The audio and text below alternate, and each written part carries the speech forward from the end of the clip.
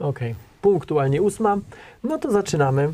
E, Sztuczna inteligencja w medycynie. Ja nazywam się Tomasz Rożek, a wy jesteście na e, Nauka to lubię. E, Albo na Facebooku, albo na YouTubie, a być może jeszcze gdzie indziej. Jeżeli macie ochotę, a bardzo o to proszę, udostępnijcie tego live'a waszym znajomym. Bardzo nam zależy na tym, żeby jak najwięcej osób nas oglądało. I żeby już za bardzo nie przedłużać, to chcę przedstawić gościa, którego zresztą znacie. Mateusz Robok. Cześć Mateuszu. Cześć. Specjalista od spraw bezpieczeństwa cyfrowego, internetowego, cyfrowego i od sztucznej inteligencji. Z Mateuszem, tu jesteśmy, tu jesteśmy. Z Mateuszem e, już się poznaliśmy, znaczy myśmy się poznali już dawno, ale wy poznaliście się całkiem niedawno, czyli jakiś miesiąc temu, e, w czasie pierwszego naszego spotkania live'owego, e, też o sztucznej inteligencji. Wtedy rozmawialiśmy i to było takie trochę założenie, może nieco chaotycznie. W tym sensie chaotycznie, że pojawiało się bardzo dużo wątków. Mhm. E, To był taki trochę pilot. Tak. Chcieliśmy bardzo sprawdzić, czy, mm, e, czy po prostu nasi odbiorcy będą tego chcieli. E, Okazało się, że chcecie. Oglądało nas do dzisiaj jakieś 170 tysięcy osób. Wielka duma i wielkie podziękowania dla Was. Yy, Mam przed sobą listę rzeczy, o których nie mogę zapomnieć, bo mi bardzo na nich zależy, więc pozwólcie, że po kolei yy, się do nich odniosę. Yy, Więc tak, po pierwsze, no właśnie, pierwszy live miesiąc temu. Jeżeli ktoś nie widział, zobaczcie koniecznie. Umówiliśmy się z Mateuszem, że będziemy e, o sztucznej inteligencji rozmawiali przez kolejne miesiące raz w miesiącu przez kolejne miesiące, bo temat jest bardzo złożony, temat jest bardzo rozwojowy i nie chcemy za bardzo mieszać wątków. Dlatego dzisiaj jest medycyna. Druga sprawa. Chcę bardzo podziękować Uniwersytetowi Śląskiemu za to, że nas gości. Jesteśmy w studiu Uniwersytetu Śląskiego mm, e, i dzięki współpracy z Uniwersytetem Śląskim możemy tą e, relację realizować, tego live'a realizować. Trzecia sprawa, chcę Was bardzo zaprosić do sklepu Nauka to Lubię. E, Jesteśmy w ostatnich godzinach, czy są ostatnie godziny, do północy jest przedsprzedaż mojej nowej książki e, Jak działa kosmos. E, Możecie ją kupić na sklep e, naukatolubie.pl. E, To jest książka o kosmosie, jak działa kosmos, e, dla dzieci, bardzo ładnie, przepięknie ilustrowana. Może ją tylko jeszcze pokażę. O, przepięknie ilustrowana. No, uciekła. Bardzo ładnie ilustrowana. E, Wiem od, z, z pierwszych recenzji, że dorośli też się sporo mogą od niej, z niej dowiedzieć. Mówię o tym dlatego, że to jest jeden ze sposobów wsparcia Fundacji Nauka to Lubię. Dzięki temu wsparciu, dzięki temu, że, że sprzedajemy na przykład taką książkę, y, mamy pieniądze na to, żeby realizować na przykład takie live'y. Y, To jest koniecznie, tak, y, w sklepie też możecie kupić koszulki z superbohaterami, na przykład takie jak, e, takie jak ta. Dobra, mm, i wydaje mi się, że teraz może iść e, film, króciutki film o książce. Co zrobić, kiedy dziecko zada Wam pytanie, na przykład, no nie wiem, czy w kosmosie wieje wiatr? Czy w kosmosie wieje wiatr? I to jest bardzo A dlaczego słońce świeci? I to jest jeszcze lepsze pytanie. Widzisz, Słońce zbudowane jest z małych atomów, które jak sklejają się z sobą, to produkują bardzo dużo energii. I część tej energii widzimy jako światło. Takich pytań w głowie dzieci rodzi się więcej niż jest gwiazd na nocnym niebie. I bardzo dobrze. Po to, żeby rozbudzić ciekawość w głowach dzieci, ciekawość do kosmosu, postanowiłem w Fundacji Nauka to Lubię napisać książkę pod tytułem Jak działa kosmos.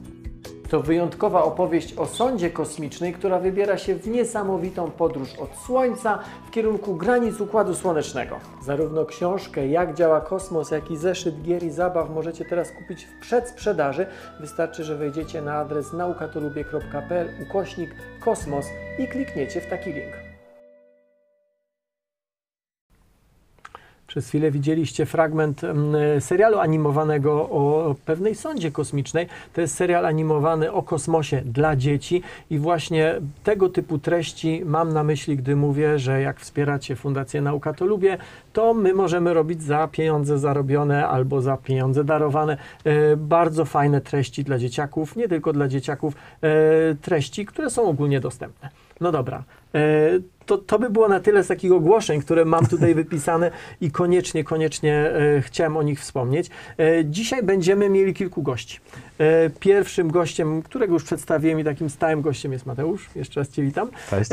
Ale będzie też, będą też dwie osoby wirtualnie w pewnym sensie.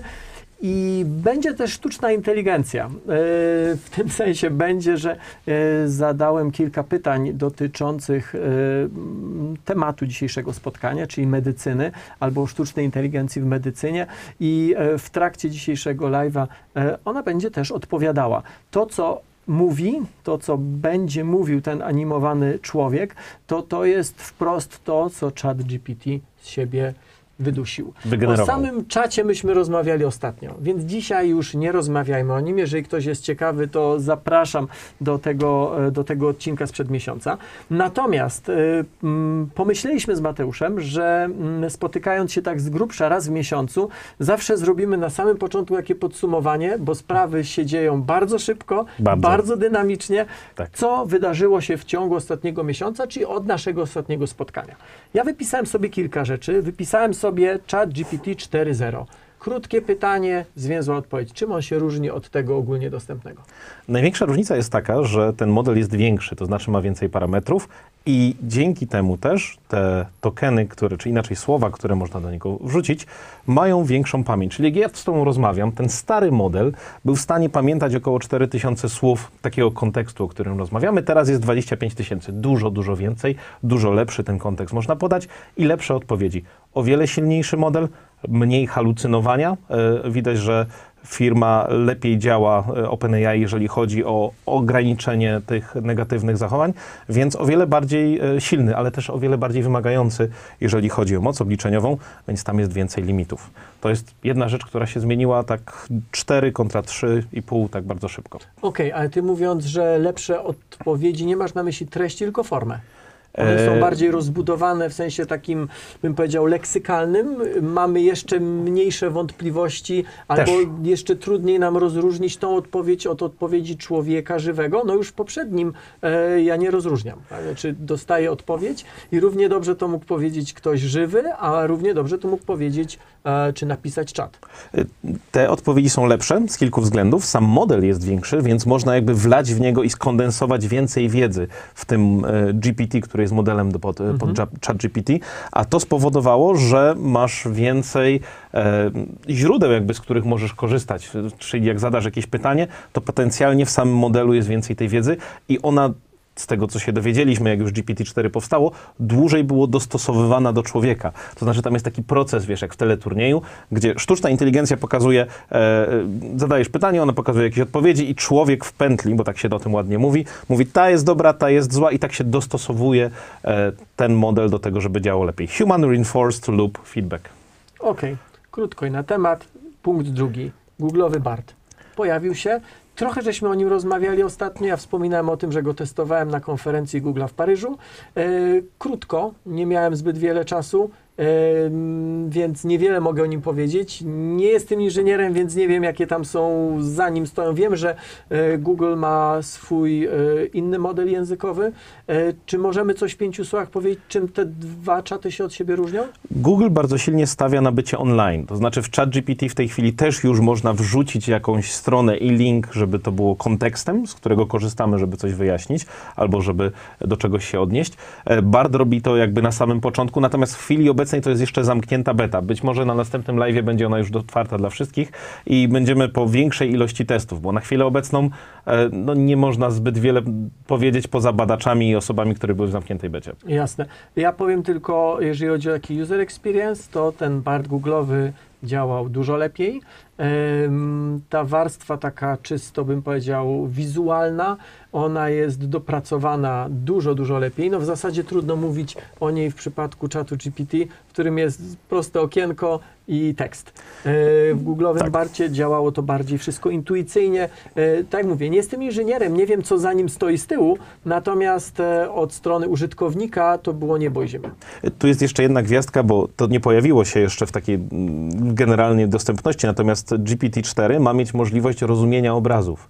To znaczy y, w tej chwili jeszcze nie możesz mu wrzucić mema i powiedzieć mu, hej, powiedz mi, dlaczego ten mem chodzi? jest śmieszny. Natomiast moim zdaniem to będzie e, przełom, jeżeli będziemy w stanie to wysyłać. I tak naprawdę e, oni to już zapowiedzieli, tylko jeszcze tego nie udostępnili prawdopodobnie przez tak duże użycie obecnych modeli. Okej, dobra, punkt drugi odhaczony. Punkt trzeci, Włochy, Kanada. Włochy e, to jest kwestia ostatnich dwóch, trzech dni. Mówi się, że Włosi zamknęli chat GPT, co jest nie do końca prawdą, Si, bo z tego co zrozumiałem, si, senior, senior to po hiszpańsku, tak? senior. Senior, no właśnie.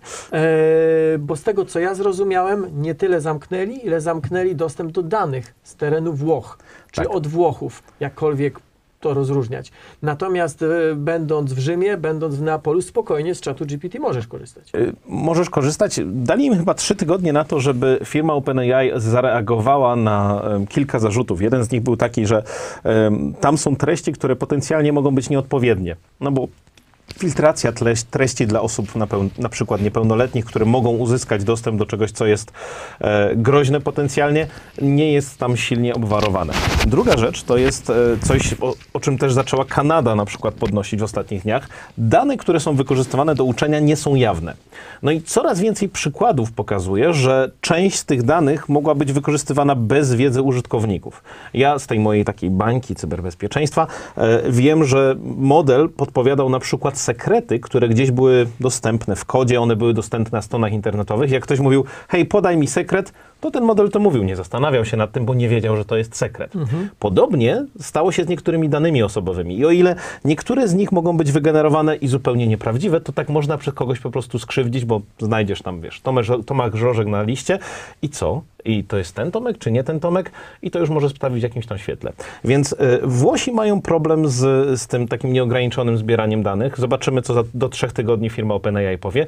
Na pewno poziomy filtracji tego, co będzie na wychodzące z modeli, wychodziło z modeli, będą się zmieniać. E, Natomiast do tego dołączyła też Kanada, e, gdzie... Z e, tym samym problemem? Y, Z podobnym problemem właśnie, że te ich OPC, który, który zajmuje się danymi osobowymi, stwierdził, że to jest zagrożenie, będą się temu pilnie przyglądać, ale oni jeszcze nic nie, nie zablokowali. Więc y, jak to Newton wiecznie żywy, akcja, reakcja, e, dochodzimy do tego, że e, zaczynają reagować e, jakby państwa, które powoli biorą się za to, że hej, tutaj są prawa, czy te prawa przypadkiem nie zostały nadużyte.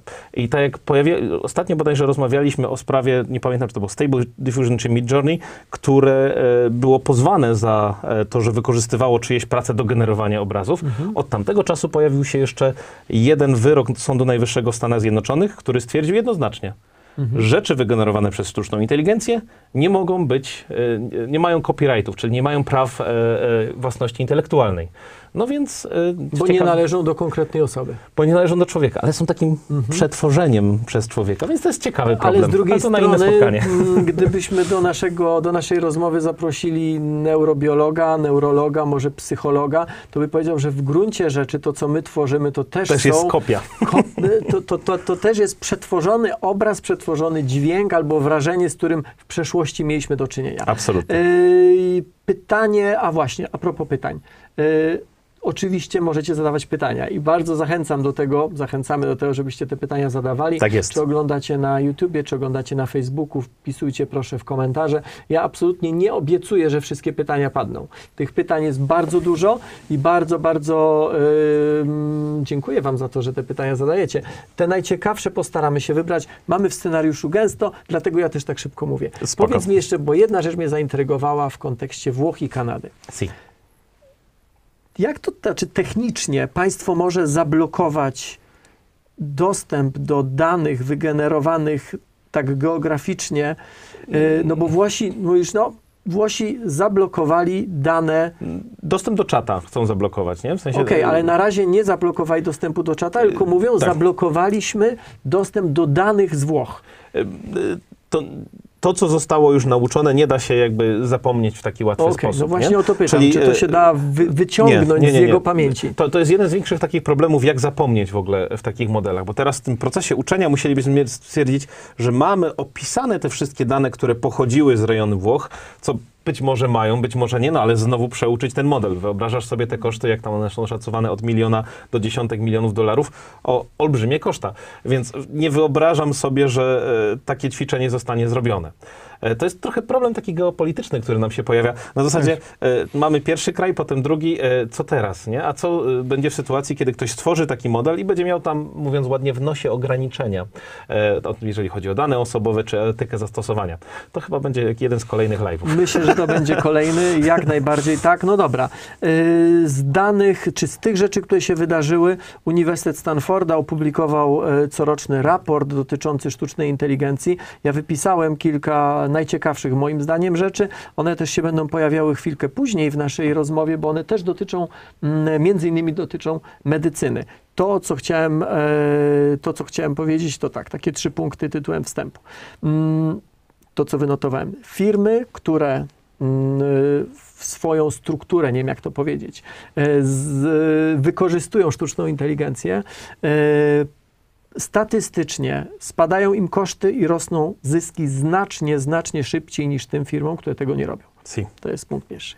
W firmach, które zainwestowały w sztuczną inteligencję, i to jest dla mnie, mus, muszę ci powiedzieć, totalne zaskoczenie. Jedna trzecia tych firm powiedziała, czy oświadczyła, że zrobiła to, czy, że ta sztuczna inteligencja w ich strukturach jest po to, żeby interpretować i rozumieć teksty. Super. Super. E, raczej bym zakładał inne rzeczy. Raczej bym zakładał, że może m, jakieś modele matematyczne, dzięki którym, nie wiem, mogą szybciej inwestować, albo wyciągać jakieś dane z, z nie wiem, z klientów, albo, albo właśnie crossować, wyszukiwać, jak, ale nie założyłbym, że aż tak dużo, jedna trzecia tych firm, tylko po to, żeby, żeby algorytmy rozumiały i interpretowały teksty. To tutaj gwiazdeczka, bo te LLM-y, Large Language Models, które mamy, świetnie się do tego nadają. Mhm. Jest teraz taka dziedzina, która bardzo szybko się rozwija, takich LLM-ów, którzy dobrze potrafią w matematykę. One w tej chwili nie są jeszcze tak popularne, więc jakby ten rozwój, o którym ty mówisz, on pewnie za chwilę nastąpi, ale Mhm. my, będąc w tym kontekście czata GPT, to, to nie jest to jeszcze ten świat. Okej. E, Kolejna rzecz, e, pytanie do ciebie, chociaż w zasadzie ty, ty to widzisz. No, dobra, Nie to w widzę. takim razie pytanie do was. E, W którym kraju jest największa akceptacja dla, do zastosowania sztucznej inteligencji w ogóle? Nie w firmach, tylko w ogóle. No tym krajem są Chiny, 80%, jeśli wierzyć, mm, jeśli wierzyć e, danym e, w, z raportu Uniwersytetu Stanforda, 80% e, statystycznie mieszkańców Chin nie ma z tym absolutnie problemu. Dla porównania, jeżeli chodzi o Stany Zjednoczone, to około 40%. Zdecydowany spadek. Zdecydowanie mniej, połowa mniej. Chińczycy z jakiegoś powodu albo się boją tego powiedzieć, albo mimo tego, że z naszego punktu widzenia są krajem, w którym ta sztuczna inteligencja jest zastosowana w sytuacjach, których, które dla nas są jakimś niemalże horrorem, e, totalna inwigilacja, sprawdzanie wszystkich, sprawdzanie wszystkiego, to mimo tego 80% Chińczyków nie widzi problemu, uważa, że to jest dobry kierunek. Nie ta inwigilacja, ale sztuczna inteligencja w ogóle. W Stanach Zjednoczonych 40% społeczeństwa nie widzi problemu w tym, żeby sztuczna inteligencja była mm, coraz bardziej zaawansowana i była coraz chętniej wykorzystywana. Ja tu widzę taką małą gwiazdkę i trochę przejście do tematu medycyny, bo to jest nie tylko kwestia sztucznej inteligencji, moim zdaniem, tylko uogólniłbym to na pewną etykę i na pewne ograniczenia, które są związane ze społeczeństwem. No więc zaczynając od medycyny, e, wydaje mi się, że przyzwolenie do tego, w jaki sposób można eksperymentować, eksperymenty prowadzić w dziedzinie e, właśnie bardzo blisko powiązanej z człowiekiem, którą jest medycyna, no bo człowiek jest zawsze w środku, e, tam też jest to o wiele bardziej akceptowalne. No. Okej, i ostatnia rzecz, o której chcę powiedzieć, podsumowując, co się wydarzyło. Mm, e, W tym raporcie jest pokazane także inwestycje. Stany Zjednoczone w roku 2022, czyli poprzednim, zainwestowały w rozwój sztucznej inteligencji 50 miliardów dolarów. I są na liście pierwszym krajem, który no, najwięcej zainwestował. Drugim są Chiny. E, Stany około 50 miliardów dolarów, Chińczycy 13 miliardów, czyli znacząco, znacząco mniej. Si. To nie jest mniej więcej tyle samo, ciut mniej, ale znacząco mniej. Trzeci kraj to jest e, Zjednoczone Królestwo, Wielka Brytania. Czwarty to jest Izrael, co może dziwić, bo to bardzo Może malutki kraj, może nie dziwić, bo to kraj, który inwestuje bardzo. Później Indie, e, gdzieś tam, gdzieś tam są Niemcy, e, później długo, długo nic, Francja i tak dalej, i tak dalej. Dobra, czy mamy podsumowane i czy mamy Myślę, tak. powiedziane, co się zadziało w ciągu ostatniego miesiąca, od naszego ostatniego spotkania? Super. Jeszcze raz przypominam, możecie zadawać pytania i zachęcam, żebyście zadawali pytania. Mateuszu, zapytałem sztuczną inteligencję o medycynę. O sztuczną inteligencję w medycynie, a później wygenerowaliśmy, em, nie wiem jak to powiedzieć, Obraz. obraz e, kogoś, kto o tym opowiada i bardzo, bardzo proszę o pierwszy materiał. Technologia AI jest już stosowana w medycynie na różne sposoby. Przykłady obejmują diagnozowanie chorób, analizowanie obrazów medycznych, planowanie terapii oraz odkrywanie nowych leków i terapii. AI może pomóc w rozpoznawaniu chorób, przewidywaniu ich rozwoju i wyborze odpowiedniej terapii, co może przyspieszyć proces leczenia i zwiększyć szanse na wyleczenie. Technologia ta może również pomóc w automatyzacji procesów medycznych i usprawnieniu zarządzania danymi medycznymi, co pozwala lekarzom skupić się na udzielaniu bardziej skutecznej opieki pacjentom. Mimo to, nadal istnieją wyzwania związane z bezpieczeństwem i prywatnością danych medycznych, które muszą być odpowiednio rozwiązane przed pełnym wdrożeniem AI w medycynie. Okej, zastanawiam się, jak ten gość powinien mieć na imię, bo być może on będzie z nami na stałe, po będzie naszym reporterem. Mateuszu, jakbyś miał wprowadzić w pięciu słowach sztuczna inteligencja, medycyna. Na pierwszy rzut oka dla kogoś, kto w ogóle się tematem nie zajmuje, to są trochę dwa różne światy. Medycyna to biologia, to człowiek, em, to komórka żywa, e, to węgiel, a Tak. tutaj krzem. A jednak okazuje się, i to też jest informacja z raportu mm, opublikowanego z Uniwersytetu Stanforda, że to właśnie w medycynę najwięcej się inwestuje. Znaczy w sztuczną inteligencję w, W medycynie. medycynie. Dużo więcej niż na przykład w sztuczną inteligencję e, w fintechu. Albo dużo więcej niż sztuczną inteligencję, która ma analizować dane zakupowe. Medycyna. Czy dlatego, że tam jesteśmy tak bardzo, nie wiem, nietechnologiczni i nadrabiamy, czy dlatego, że tam są największe zyski? Dlaczego? Moim zdaniem przez to głównie, że pojawiło się tam bardzo dużo danych. To znaczy, zobacz, że jak opomiarowujesz sobie człowieka na różne sposoby, to to jest paliwo dla wszelkich modeli. Historycznie dla tych modeli słabych e, sztucznej inteligencji, czyli takich eksperckich, które były wykorzystywane do odpowiedzi na proste pytania, ale im więcej danych jest nieustrukturyzowanych, takich pomieszanych, tym więcej jest możliwości do interpretacji. Więc ponieważ mamy dużo danych, interesujemy się człowiekiem z naturalnych powodów i pomiarujemy się, to powoduje, że jesteśmy w stanie więcej wywnioskować. No i tutaj mamy teraz dziedziny, które są związane z diagnozą, bo trudno jest mieć wszystkie informacje o tym, co się dzieje. Jak wyobrażam sobie y, to, jak działają lekarze, którzy muszą przełączać swoje konteksty, w zależności od tego wchodzi jeden pacjent, a mam tam 5 minut, żeby dowiedzieć się, co się dzieje, później postawić diagnozę i, i zrobić coś innego. To jest o wiele, o wiele trudniejsze, niż jakbyś miał to w elektronicznej formie i ten kontekst ciągle byłby dostępny. Więc wyobrażam sobie, że y, ten wielką wartością jest to, że to są dane. Mhm. Przypominam sobie takie badania, o których czytałem kilka lat temu, no nie tak bardzo. Mówiąc kilka, mam na myśli nie 8-9, tylko kilka, może 2-3. I te dane mówiły o. Te dane były zbierane w Stanach Zjednoczonych, gdzie Mhm. pytano, z kontekstu wynikało, że tego typu badania się tam robi od dłuższego czasu. Pytano lekarzy, co jest dla nich e, źródłem największego takiego wypalenia zawodowego, co O. jest źródłem takiego, e, takiej powiedzmy niezgody na to, co, co mają na co dzień. I do któregoś momentu bardzo często padała odpowiedź, że niedobór danych. To znaczy, że lekarz kiedyś, kiedyś, nie 100 lat temu, ale 20 lat temu, 15 lat temu, podejmował decyzję opartą w dużej mierze na intuicji. Mhm. Wiedział o tym, że gdyby miał lepszy sprzęt, lepszy dostęp do sprzętu, więcej czasu, więcej pieniędzy na badanie konkretnego pacjenta, to są technologie, które dałyby mu dane, na podstawie których on mógłby podjąć lepszą decyzję. Tak. Ale od kilku lat to się zmienia i dzisiaj jedną z najczęściej podawanych odpowiedzi jest nadmiar danych. Innymi słowy, lekarz ma świadomość, że jest w stanie odnośnie konkretnego pacjenta wygenerować taką ilość danych, że jest znowu zgubiony. E, sama świadomość kardiologa na przykład, że być może odpowiedzi na stan pacjenta drzemią w smartwatchu, Tak. ale nie wiemy, jak je wyciągnąć. Znaczy, wiemy, jak je wyciągnąć, ale nie mamy narzędzi do analizy. Nie mamy wciąż narzędzi, które by potrafiły z tego ogromu danych wyciągnąć to, na czym nam najbardziej zależy. To jest trudne. Rozumiem, że sztuczna inteligencja jest odpowiedzią na to. I to jest jakby cała dziedzina algorytmów, które poszukują po pierwsze wzorców, po drugie anomalii. Te, które są związane z wzorcami, e, wyobraź sobie, że mamy, niezależnie tutaj od dziedziny, czy mówiłeś o EKG, czy o czymś innym, zdrowe tkanki, zdrową odpowiedź e, w EKG człowieka e, i porównujemy potem tego samego człowieka albo do jakiejś grupy kontrolnej do innych. No i będzie można zauważyć, im lepsze jest to profilowanie, bo więcej mamy danych o danym użytkowniku, co jest nietypowe, co jest anomalią.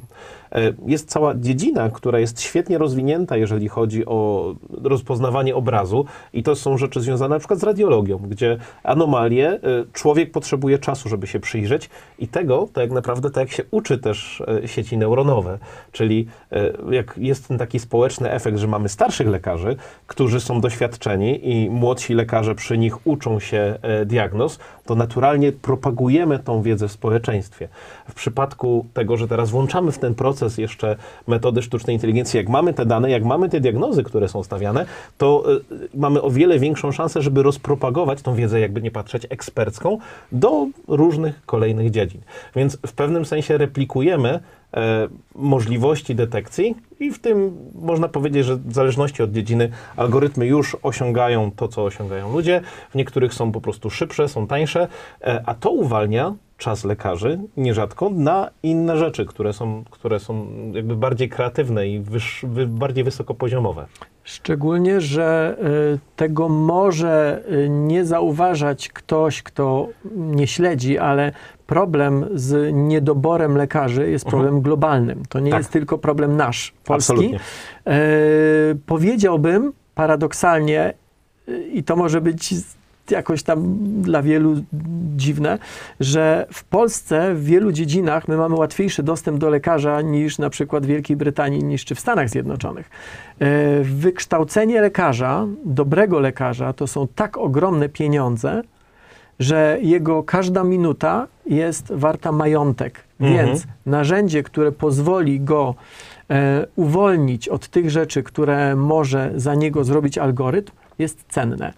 I a propos cenny, cenności i ceny, trochę o tych pieniądzach, bo y, to chyba jest ostatni kawałek, ostatni cytat tego uniwersytetu, raportu z Uniwersytetu Stanforda. Do roku 2014 większość modeli uczenia maszynowego była tworzona przez środowiska akademickie. Si. Od tego czasu to biznes rośnie, a to, co dzieje się w akademiach, albo jest w miejscu, albo spada.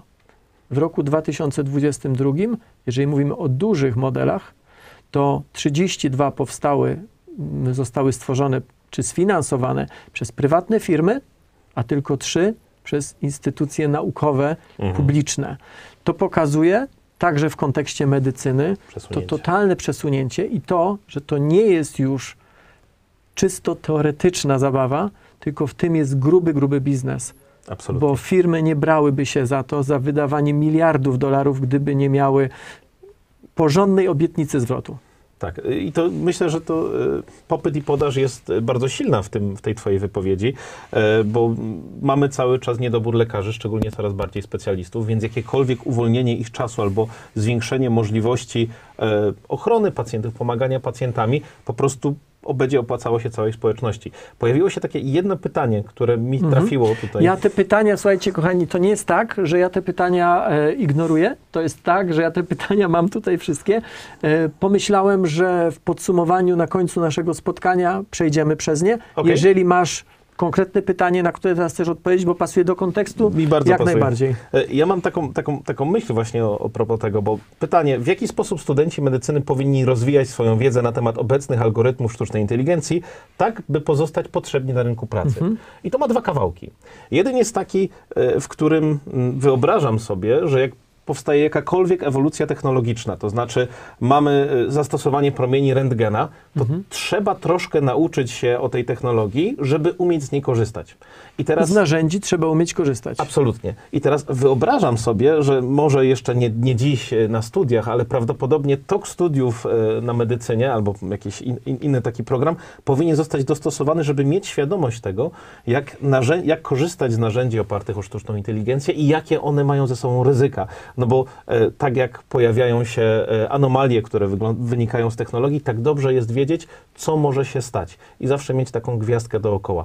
Więc i ja bym odpowiedział tak, że absolutnie lekarze będą potrzebni. Będą się rozwijać i będą coraz bardziej ekspertami, natomiast im więcej będziecie mieli świadomości narzędzi, które będą was wspierać i też niedoskonałości tych narzędzi, tym lepiej. To mi pasowało o tyle do kontekstu, bo to Jak najbardziej. znowu spowoduje e, hiperspecjalizację i to też spowoduje, że te takie proste rzeczy, e, to tak mam taką wizję, możesz się absolutnie z nią nie zgodzić, że te proste rzeczy, które są w pewien sposób powtarzalne i jak już są te dane, bo mówimy o tym, że zbieramy więcej danych, e, one będą załatwiane automatycznie. To znaczy wyobrażam sobie, że do rzeczy prostych w pewnym momencie będziemy angażować mniej i mniej ludzi, co może poza być takimi pytaniami etycznymi, natomiast e, to może uwolnić jeszcze więcej czasu na bardziej skomplikowane przypadki. Ja myślę, że my w ogóle zrobimy osobny odcinek naszej rozmowy o rynku pracy, Okej. bo to jest bardzo, bardzo ciekawe i to jest jedno z częściej zadawanych pytań. E, oczywiście w kontekście medycyny, e, gdy, gdy opowiadam o sztucznej inteligencji w medycynie, zawsze na sali, na widowni pada pytanie, ok, czy przyszłość to e, algorytmy, które zastąpią lekarza? Nie. I ja wtedy zadaję pytanie, czy USG zastąpiło lekarza? Czy USG dało lekarzowi Możliwości. e, możliwości i dało lekarzowi komfort podejmowania decyzji, których lekarz pokolenie wcześniej po prostu nie miał. E, ja na to tak patrzę.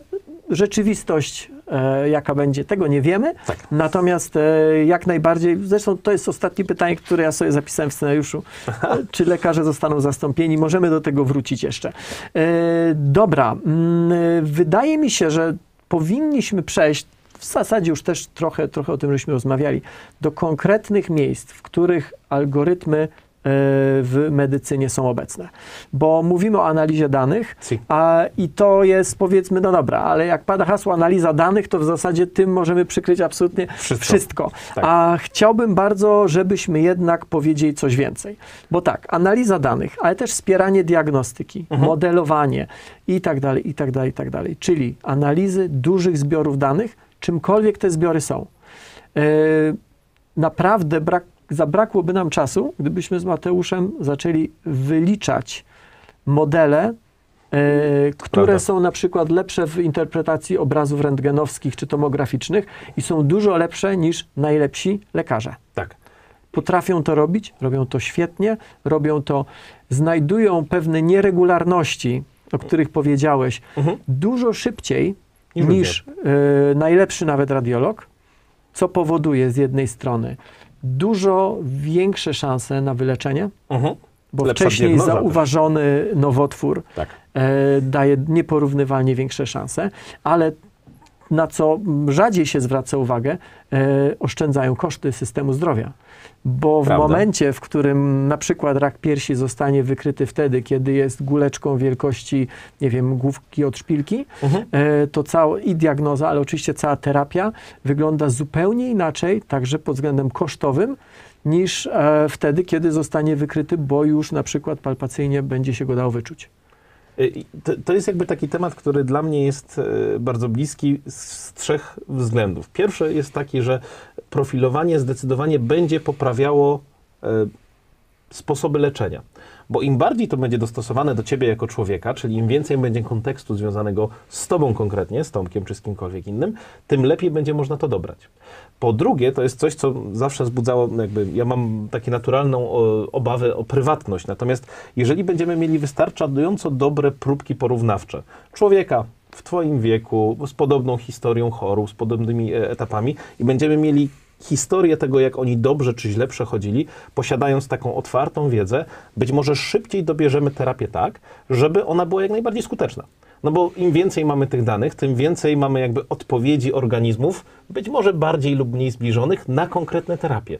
Więc profilowanie i jakby ta historia, która będzie coraz bardziej dostępna. Ja sobie wyobrażam tak, jakby gdybyśmy mieli mówić o medycynie takiej bardzo, gdzie człowieka mamy w centrum, to w imię dobra ludzkości trzeba by się takimi przykładami dzielić. Natomiast tam jest to niebezpieczeństwo, że tam jest jednak dużo prywatnych informacji, więc jest to trudne do wyważenia. I, i trzeci element, który y, jest z tym dla mnie związany, to jest to, że y, maszyny się nie męczą.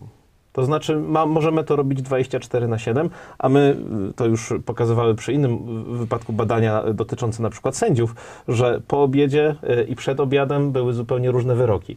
Każdy z nas jako piątek człowiek... inne, W piątek jest- są nawet takie badania pokazujące, jak em, sędziowie w Stanach Zjednoczonych, nie dlatego, że oni tam są jacyś dziwni, tylko po prostu te badania się zwykle w Stanach robi, jak inaczej orzekają wtedy, kiedy na przykład drużyna piłkarska czy drużyna sportowa, której sędzia kibicuje, wygrała, a jak, em, jakie są podejmowane decyzje wtedy, kiedy przegrała. Są całe modele, które pokazują, kiedy dobrze jest wbić na tą salę sądową, a kiedy nie. Natomiast wracając do medycyny, oczywiście jest tak, że my jesteśmy jednym gatunkiem. Ale oczywiście jest też tak, że każdy z nas jest inny. Mhm. I tutaj ten element intuicji lekarza zawsze był niezwykle istotny. Tak. Czy chcesz powiedzieć, że intuicja może być zastąpiona statystyką? O ile statystyka będzie odpowiednio duża? Myślę, że to jest kolejny krok w rozwoju systemów ekspertowych. Bo to, co się działo na przestrzeni tam od lat 70., 80., to było próba przelania wiedzy eksperckiej ludzi, którzy obserwowali, e, eksperymentowali na przykład z medycyną, e, ale także z innymi dziedzinami, i później zapisanie to w formie algorytmu. Tak były e, algorytmy eksperckie. Natomiast one miały swoje, swój taki szklany sufit, jeżeli chodzi o rozwój. Bo tam, gdzie dochodziliśmy do szerokiej liczby przypadków, do jakichś przypadków, które są bardzo niszowe, których wcześniej ta osoba nie mogła zobaczyć, byliśmy ograniczeni. Teraz otwierając się na o wiele szerszą, szerszy zakres danych, powodujemy, że te modele mogą przebić ten szklany sufit i mamy kolejną ewolucję w tym kierunku. Więc to jest e, nie tylko jeden ekspert, ale można powiedzieć, że im więcej danych będziemy mieli, to jest łączona wiedza wielu ekspertów, która sumarycznie jest wyższej jakości. A przekłada się to, ta analiza danych i ta wiedza ekspercka, między innymi na przykład na to, że lekarze mogą liczyć na to i takie modele też już są i takie algorytmy też już są, e, algorytmy wspierające na przykład dawkowanie. Tak, albo podejmowanie decyzji. Nie? Albo podejmowanie decyzii. Bo- Tutaj chciałem pozdrowić e, Piotra. Piotra z LinkedIna, z Wojewódzkiego Wielospecjalistycznego Centrum Onkologii i Traumatologii imienia Marii Konop... Nie Marii, patrz, Mikołaja Kopernika, ślepy jestem. Tego Marii, Mikołaja, tego, tego. Kopernika, tak. W Łodzi, ponieważ pan Piotr, e, doktor Piotr jest e, fizykiem medycznym. E, to jest dziedzina bliska mojemu sercu, bo sam jestem fizykiem medycznym z podstawowego wykształcenia i wspominał o tym właśnie na LinkedInie mi napisał, jak pojawiło się ogłoszenie o naszym dzisiejszym streamie, o tym, jak bardzo fizyków medycznych przy dawkowaniu, przy określaniu na przykład dawek w radioterapii, Mhm. e, w chemioterapii, o chemioterapii akurat chyba nie pisał, tylko właśnie o onkologii, o radioterapii, wspierają modele, które znowu chodzi o to, żeby podać tyle, ile trzeba, na Nie za przykład dużo, nie promieniowania, ale nie za dużo, bo jak za dużo, to to człowiekowi może zaszkodzić tkankom, które otaczają na przykład nowotwór. Czyli dokładne określenie, gdzie on jest, dokładne przeliczenie trzech wymiarach pod konkretną osobę, czyli szyte na miarę. Ja sobie zapisałem, jak opowiadałeś wcześniej, medycyna spersonalizowana. Tak. To bardzo często pada w kontekście raczej genetyki, gdzie Mhm. mamy odpowiednio zaawansowaną analizę danych, ale związanych, y, danych związanych z naszymi genami. I na tej podstawie, czy z tego wyciągamy wnioski, czy algorytm wyciąga wnioski, co tobie podać, a co mnie podać, mimo tego, że na przykład chorujemy na to samo. Tak. Może się okazać, że to będą inne dawki, a może nawet inne lekarstwo. Ta medycyna spersonalizowana, ona jest w pewnym sensie synonimem sztucznej inteligencji w medycynie. profilowania, tak? Tak. Tak. tak jak y, Google czy inne wyszukiwarki znają cię, bo mają do tobie dużo danych, więc dobrze Mhm. opowiadają. Tak wyobrażam sobie, że medycyna spersonalizowana będzie powodowała, że to będzie skuteczniejsze. Bo I w tym teraz- wszystkim o to najbardziej chodzi. Tak, i teraz jak sobie wyobrażam taki dylemat, czy hej, oddać swoje dane, ale w zamian to ma, masz skuteczniejszą potencjalnie terapię, czy nie oddawać, wybór jest dosyć prosty. Okej, ja się zastanawiam nad tym, bo ty mówisz oddać swoje dane, ale czy to jest nieuniknione? No bo przecież ty możesz oddać swoje dane Mhm. bez mm, podawania, że chodzi o Mateusza Chroboka, który mieszka na Śląsku, który ma tyle, tyle lat i tak dalej, i tak dalej. E, te dane mogą być zanonimizowane. Mogą być, tylko jest też, są też takie procesy, e, delikatnie tylko odbiegając, które pozwalają odwrócić te dane. Czyli Mhm. gdybyś ty znał e, historię iluś tam moich chorób, to możesz powiedzieć, a ten ziomek to jest właśnie To jest. Mateusz. Okej. E, więc ten proces deanonimizacji jest możliwy i zawsze jest tam jakieś ryzyko Mhm. tego, że ktoś będzie w stanie to poznać, a dane, niezależnie jakie, wyciekają prędzej czy później. Więc to ma pewną, pewien taki element swojego ryzyka, no ale potencjalny zysk jest o wiele wiesz, wyższy.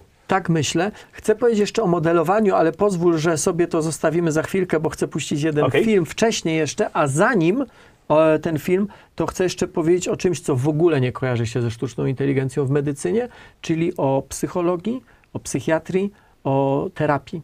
E, chcę o tym koniecznie powiedzieć. Po pierwsze, dlatego, że to jest ciekawe, dlatego, że nie kojarzy się ze sztuczną inteligencją. Wciąż jednak nawet ci, którzy jakoś się tym tematem interesują, mm, wydaje się powszechnie, że to, co jest związane z naszymi emocjami, uczuciami, jednak nie jest taką ścisłą analizą danych, a to jest nieprawda, bo odpowiednia analiza danych, na przykład tego, jakie emocje widać na naszych twarzach, jest od wielu lat doskonalona. I chcę te o tym powiedzieć też dlatego, że mam e, w pewnym sensie tutaj osobiste doświadczenia.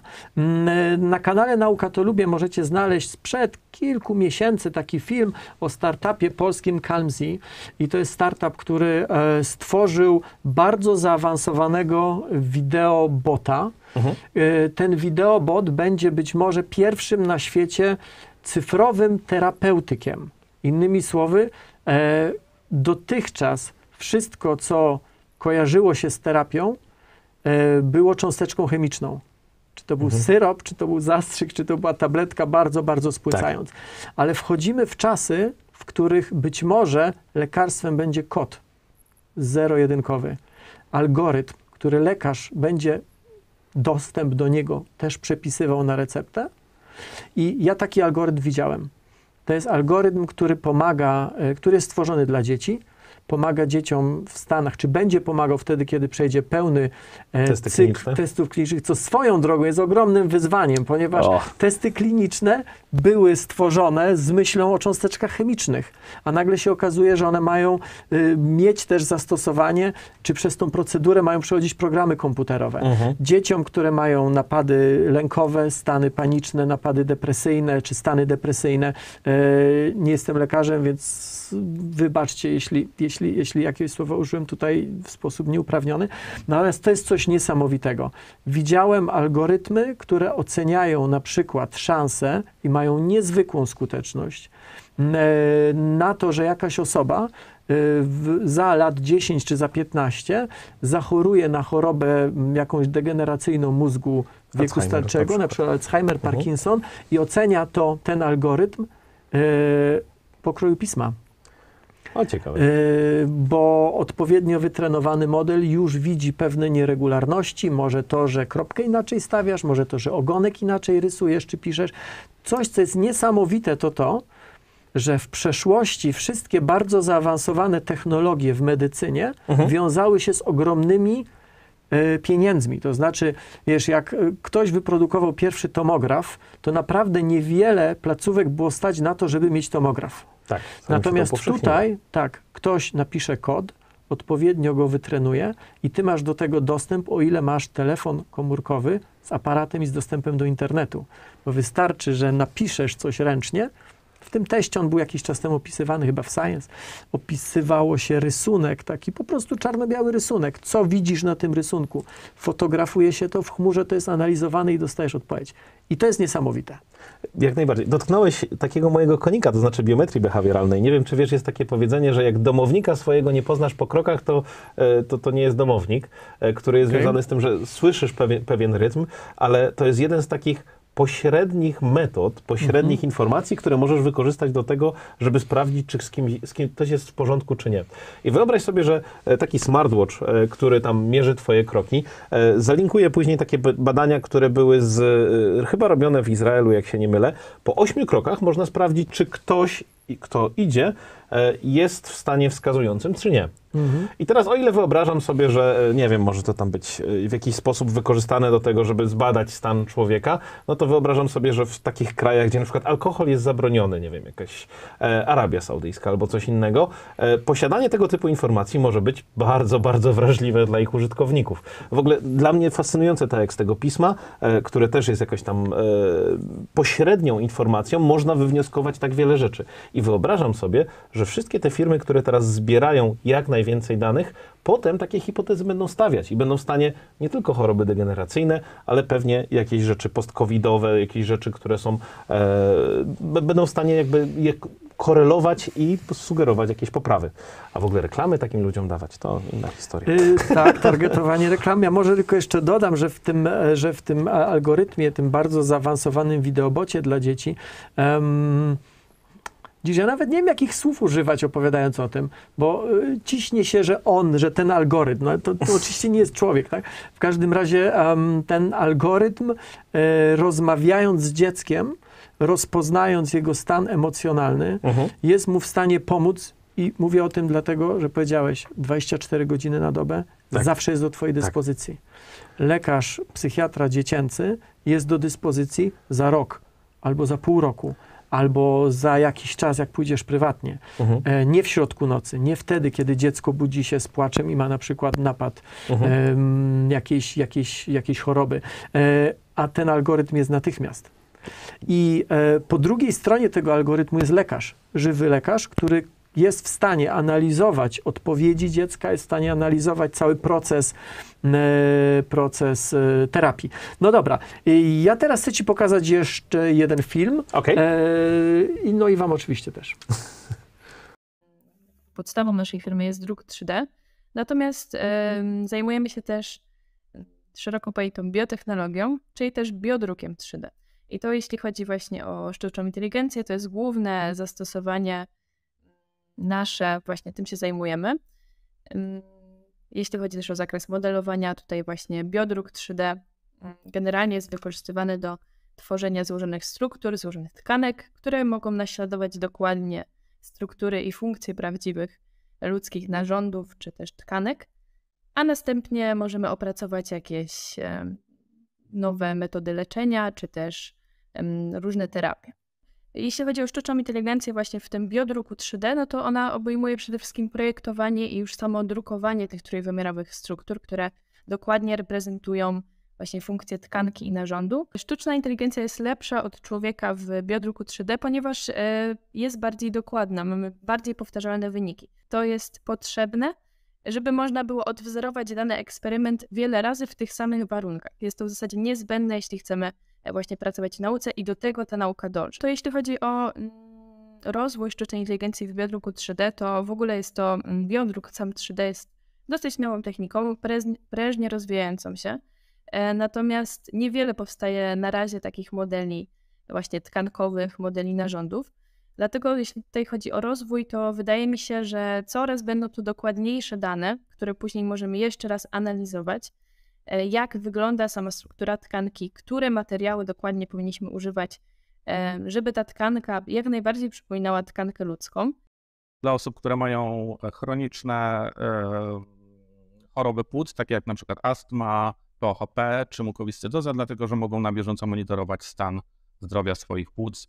I właśnie w tym kontekście wykorzystujemy sztuczną inteligencję. To jest e, jeden z naszych głównych produktów, czyli właśnie analiza dźwięków zarejestrowanych e, stetoskopem po to, żeby wykryć zmiany osłuchowe, sprawdzić ich intensywność, jakie jest natężenie, e, żeby umożliwić monitorowanie zmian w czasie. Podstawowa rzecz to jest taka, że umożliwiamy wykonanie e, badania medycznego w zaciszu domowym. Normalnie jest tak, że żeby dowiedzieć się, czy w płucach jest wszystko ok, to idziemy do lekarza, lekarz używa stetoskopu i takie badanie odbywa się w gabinecie, co oczywiście stwarza bardzo dużo problemów, dlatego że trzeba się umówić na wizytę, e, są kolejki, lekarze są niedostępni, czasami się źle czujemy i po prostu wyjście z domu bywa, bywa dosyć trudne.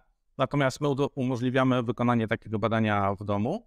E, Co więcej, umożliwiamy wykonanie takiego badania z dokładnością, która jest wyższa niż e, statystyczny lekarz. To też wykazaliśmy w naszych badaniach na danych klinicznych, że e, osiągnęliśmy już taki poziom, powiedzmy, e, dokładności, że, że przewyższamy takiego statystycznego lekarza, więc nawet jest to wskazane do używania przez samych lekarzy, dlatego że e, no czasami ich ocena nie jest tak dokładna, jak, jak potrafimy uzyskać przy pomocy naszego urządzenia e, e, razem z algorytmami. Zdecydowanie sztuczna inteligencja penetruje wszystkie dziedziny naszego życia i medycyna nie jest tutaj żadnym wyjątkiem. E, Na pewno spodziewam się, że w najbliższym czasie e, różne obszary medycyny będą wspierane przez sztuczną inteligencję. Nie wydaje mi się, żeby w najbliższym czasie e, następowało zastępowanie ludzi w tym zakresie, ale tak jak jest w przypadku naszego produktu, staramy się wspierać decyzje lekarzy, tak żeby odciążyć ich od rzeczy rutynowych, rzeczy automatycznych, które można wykonać właśnie przy pomocy sztucznej inteligencji, tak żeby lekarze mieli czas i mogli się skupić na meritum, czyli na e, stawianiu diagnozy e, pacjentów. Okej. E, Agata Jasińska, application engineer w firmie, która zajmuje się biodrukiem. Mhm. Tomasz Grzywalski, Head of Research w firmie, która zajmuje się, czy firmie, startupie, który stworzył stetoskop oparty o sztuczną inteligencję, stetoskop analizujący dźwięki. I to jest wsparcie tego, o czym mówiliśmy chwilkę temu, czyli tego, że odpowiednio skrojone czy odpowiednio stworzone urządzenie jest w stanie uwolnić lekarza. Innymi słowy, jeżeli kaszlesz, jeżeli kichasz, jeżeli masz jakieś szumy czy bulgotanie, cokolwiek, taki stetoskop jest w stanie e, po analizie dźwięków Tak. mm, e, podać ci diagnozę. Nie musisz iść z twoją chorobą, być może zarażając innych, Mhm. nie, do lekarza, nie musisz stać w kolejce, nie musisz tracić czasu, a dostajesz diagnozę. I to jest petarda. To jest ta pochodna metoda, bo tutaj po dźwięku, za pomocą której możemy w stanie z pewną dokładnością taką diagnozę postawić. O ile Z całkiem dużą Tak, tak. dokładnością. W przypadku Tak. stetoskopu. Ja sobie od razu wyobraziłem taką aplikację tego w przypadku telefonów, gdzie lekarz mówi, proszę teraz mi tutaj zakaszleć do mikrofonu, zakaszlesz i tam masz klasyfikator, e, żeby powiedzieć od razu klasyfikator, czyli dobór tego, a to jest kaszel suchy, kaszel mokry, czyli model, który na podstawie dźwięku jest w stanie to podzielić na takie kawałki, Mhm. żeby zrozumieć, co tak naprawdę się z tobą dzieje. I takie aplikacje także istnieją.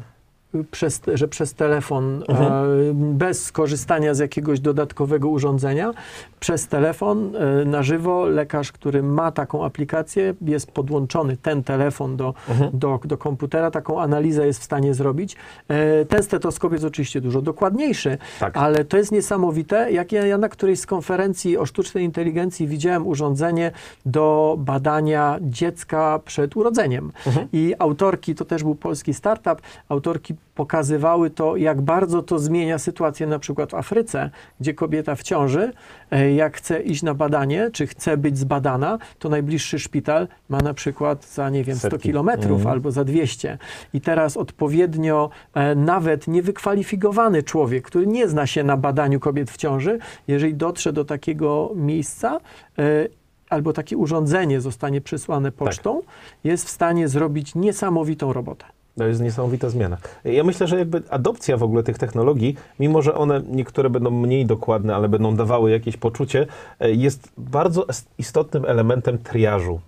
Bo ja bym tutaj delikatnie zahaczył o taki kawałek, skąd wiesz, bo cały czas jest duży, że tak powiem, popyt e, na to, żeby być leczonym, skąd wiesz, kim się zająć pierwszym?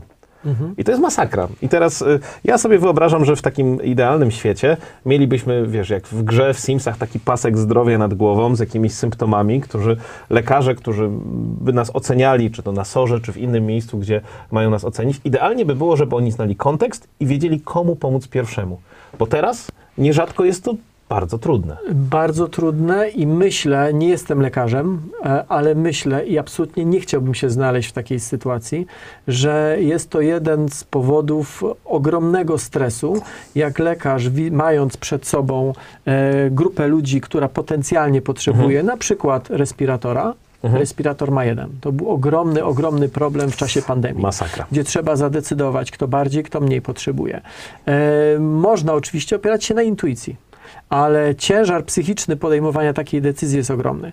E, Albo lekarz, który jest na izbie przyjęć i ma ludzi, no, sporą grupę, I ileś przyjęć, łóżek. ileś łóżek i musi zadecydować, kto pierwszy, kto później, kto może poczekać, a kto poczekać nie może. I rzeczywiście taki algorytm, który by mu pomagał, e, no byłby, byłby sporym, sporą pomocą. I modelowanie. Wspieranie decyzji. Wspia- tak, i modelowanie, pani Agata Jasińska, modelowanie. No modelowanie kojarzy się z czymś bardzo takim, bym powiedział, może nie tyle abstrakcyjnym, ale jednak cyfrowym, że modelujemy pogodę, modelujemy, modelujemy, nie wiem, urządzenie jakieś. Natomiast tutaj chodzi o modelowanie protez, biodruk, e, druk e, 3D, dzięki któremu można e, może nie tyle wymieniać, ile wspierać uszkodzone części ciała. E, natomiast one muszą być bardzo dobrze dopasowane do konkretnej osoby, odpowiednio napisane algorytmy, analizując e, mnóstwo danych, są w stanie e, z siebie wyrzucić dane, jak rzeczywiście powinien wyglądać wydrukowany model, nie wiem, fragment czaszki albo jakiejś kości. Ja sobie też wyobrażam, że idziemy troszeczkę w tym kierunku wymiany organów, jak tak zahaczyliśmy o ten kawałek. E, I teraz, e, co świadczy o tym, że coś zostanie zaakceptowane czy nie. E, Tych czynników jest coraz więcej i więcej. I wyobrażam sobie, że posiadając więcej danych o podobnych przypadkach, o odrzutach, o, o akceptacji, będziemy w stanie mieć bardziej, podejmować lepsze decyzje. No bo drukowanie jakby z tkanek organów, ja wiem, że serce to jeszcze daleko, daleko, przynajmniej nie, widzia, nie słyszałem o żadnych badaniach na ten temat, ale e, wyobrażam sobie, że będzie cały czas postępowało i będzie powodowało, że my jako ludzie będziemy mieli więcej części zamiennych i o ile technologia będzie gdzieś tam ewoluowała w tym zakresie, to zawsze jest właśnie ten problem, że ty jako jednostka musisz zostać sprofilowany i o tym było to modelowanie, że to ciebie, konkretnego człowieka, musimy dopasować tą część zamienną, żeby ona rzeczywiście pasowała i nie powodowała problemów. W międzyczasie przypomniał mi się tytuł tego filmu, który zrobiliśmy na Naukatolubie o, o e, startupie Calmzi. E, Polski cyfrowy lek. Jeżeli Was ten film interesuje, jeżeli Was ten problem interesuje, ten temat interesuje, to na Naukatolubie znajdziecie ten film, na YouTubie Naukatolubie znajdziecie Polski cyfrowy lek. E, Chciałem jeszcze jeden film i to znowu będzie sztuczna inteligencja. W dziedzinie medycyny AI może mieć kilka przewag nad człowiekiem, takich jak szybsza analiza i diagnozowanie. AI może przetwarzać i analizować duże ilości danych medycznych znacznie szybciej niż człowiek, co może prowadzić do szybszych i dokładniejszych diagnoz. Bezstronność i obiektywność. AI nie jest podatne na błędy ludzkie wynikające z emocji, niewłaściwego szkolenia lub subiektywnych ocen, co może prowadzić do bardziej obiektywnych diagnoz i terapii. Wykrywanie subtelnych wzorców. AI może wykrywać subtelne wzorce lub związki między danymi medycznymi, których człowiek może nie dostrzec. Automatyzacja procesów. AI może przyspieszyć i usprawnić wiele procesów medycznych, takich jak analiza wyników badań, przygotowywanie planu terapeutycznego czy zarządzanie danymi medycznymi. Mimo to, warto zauważyć, że AI wciąż nie jest w stanie zastąpić całkowicie ludzkiej interwencji w medycynie i musi być stosowana z umiarem i odpowiednio przetestowana przed pełnym wdrożeniem. Okej. De- Ewidentnie musimy mu znaleźć imię. Jeżeli ktoś z Was ma jakiś pomysł, wpiszcie proszę w komentarzach. A propos komentarzy, absolutnie nie zapomnieliśmy. Mamy je wszystkie, zaraz do nich przejdziemy. Ym, jeszcze o czymś chciałem powiedzieć. Tutaj zaraz o czymś jeszcze chciałem powiedzieć. Patrz, i mi wypadło. Chyba nic ważnego. Yy, aha, już wiem o czym chciałem powiedzieć. Yy, Podlinkujcie proszę, podeślijcie znajomym, udostępnijcie link do naszej transmisji, do naszego live'a. Staramy się z Mateuszem, żeby było ciekawie. Mam I nadzieję, różnorodnie. I różnorodnie. Mam nadzieję, że nam to wychodzi. E, Więc e, jeżeli macie ochotę, jeżeli widzicie, że, że mm, to są ważne tematy, e, podlinkujcie proszę, czy udostępnijcie proszę, żeby jak najwięcej osób mogło zobaczyć. Dodam też, że jesteśmy na kanale Nauka to Lubię. Nauka to Lubię to oczywiście YouTube, to oczywiście Facebook, ale to także są książki i na przykład książka o jak działa kosmos. Dzisiaj jest ostatni dzień przedsprzedaży. Ktoś, kto kupi do północy tą książkę, to dostanie egzemplarz z moim autografem. Mm, Są też w sklepie Nauka to lubię koszulki. E, Nie tylko z, ty też masz Kopernika, nie tylko z Kopernikiem, nie tylko jakie bawełniane, ale też z Marią Skłodowską, e, full printy. I tyle. Ja bym jeszcze zachęcił do tego, bo ostatnio bardzo dziękujemy za podesłanie tych wszystkich e, sugestii na kolejne live'y. I mamy trzy osoby, które zwyciężyły, e, do których się odezwiemy e, z podziękowaniami. Natomiast jak tak powiedziałeś o tym, e, o tym kimś, kto do nas mówi, może zrobimy konkurs na imię. Zróbmy konkurs. Słuchajcie, wpisujecie imię. Przez ile? Przez tydzień? Tak, to ostatnio był tydzień. Dobra, dzisiaj jest środa, tak? Tak. Czyli do środy po świętach? To jest ta. O, rzeczywiście. do Wesoły środy świąt. po świętach. E, W środę po świętach równo przez tydzień zbieramy informacje. E, Czy ty pamiętasz maila, na którego te informacje, tam te rzeczy były wypisy, wysyłane? Zaraz sobie przypomnę. Zaraz sobie przypomnimy do tego maila, podamy, ale napiszcie proszę imię, proponowane imię tego człowieka, który no, nie jest Człowieka. żywy, właśnie, e, który nie jest żywy, ale który nam um, treści ustami sztucznej inteligencji przekazuje pewne. E, I teraz myślę, że zanim przejdziemy do zagrożeń, bo ten wątek pojawiał się kilkukrotnie, natomiast e, um, chciałbym go podsumować, e, ale zanim do tych zagrożeń przejdziemy, to może spróbujmy odpowiedzieć na kilka pytań. Jedno z pytań, które się pojawiło, czy programy AI w medycynie również muszą przejść podobne etapy jak leki, żeby zostać dopuszczone do używania w szpitalach? Okej, i to jest ten przykład Calmzy, o którym Tak. opowiadałem. Na przykład. Y, Słuchajcie, to jest właśnie cały problem, który dotyczy nowych technologii, że Tak. my musimy je, czy musimy, nie mamy wyjścia. Y, Staramy się je dostosować do procedur, które były tworzone na zupełnie inne czasy i na zupełnie inne warunki. To dotyczy na przykład, trochę się to pojawiło w czasie naszej ostatniej rozmowy, y, to dotyczy samochodów autonomicznych. Są pewne procedury, są pewne prawa, jest cały kodeks cywilny, kodeks prawny napisany Ale pod sytuacje, nowe. w których człowiek siedzi za Tak. kierownicą, więc ktoś konkretnie jest odpowiedzialny. Nagle pojawia się, no, ktoś wywraca stolik. Tak. I mamy do wyboru albo przez jakiś czas mieć anarchię, albo zatrzymać rozwój, co jest niewykonalne. No to to jak z tym Tego listem się, od nie, Elona. tego No. się nie da zrobić. Elona, który całkiem sporo zarabia na tym, tak. że, że algorytmy dla niego pracują.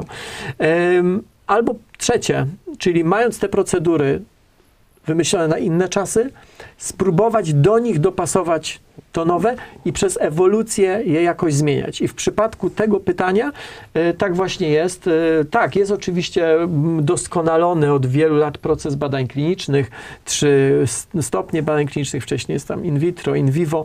Em, natomiast, e, no właśnie, czy to zadziała? Nie mamy wyjścia, to znaczy, jeżeli albo, no właśnie, albo powiemy, nie wpuszczamy tego typu rozwiązań w ogóle, Tak.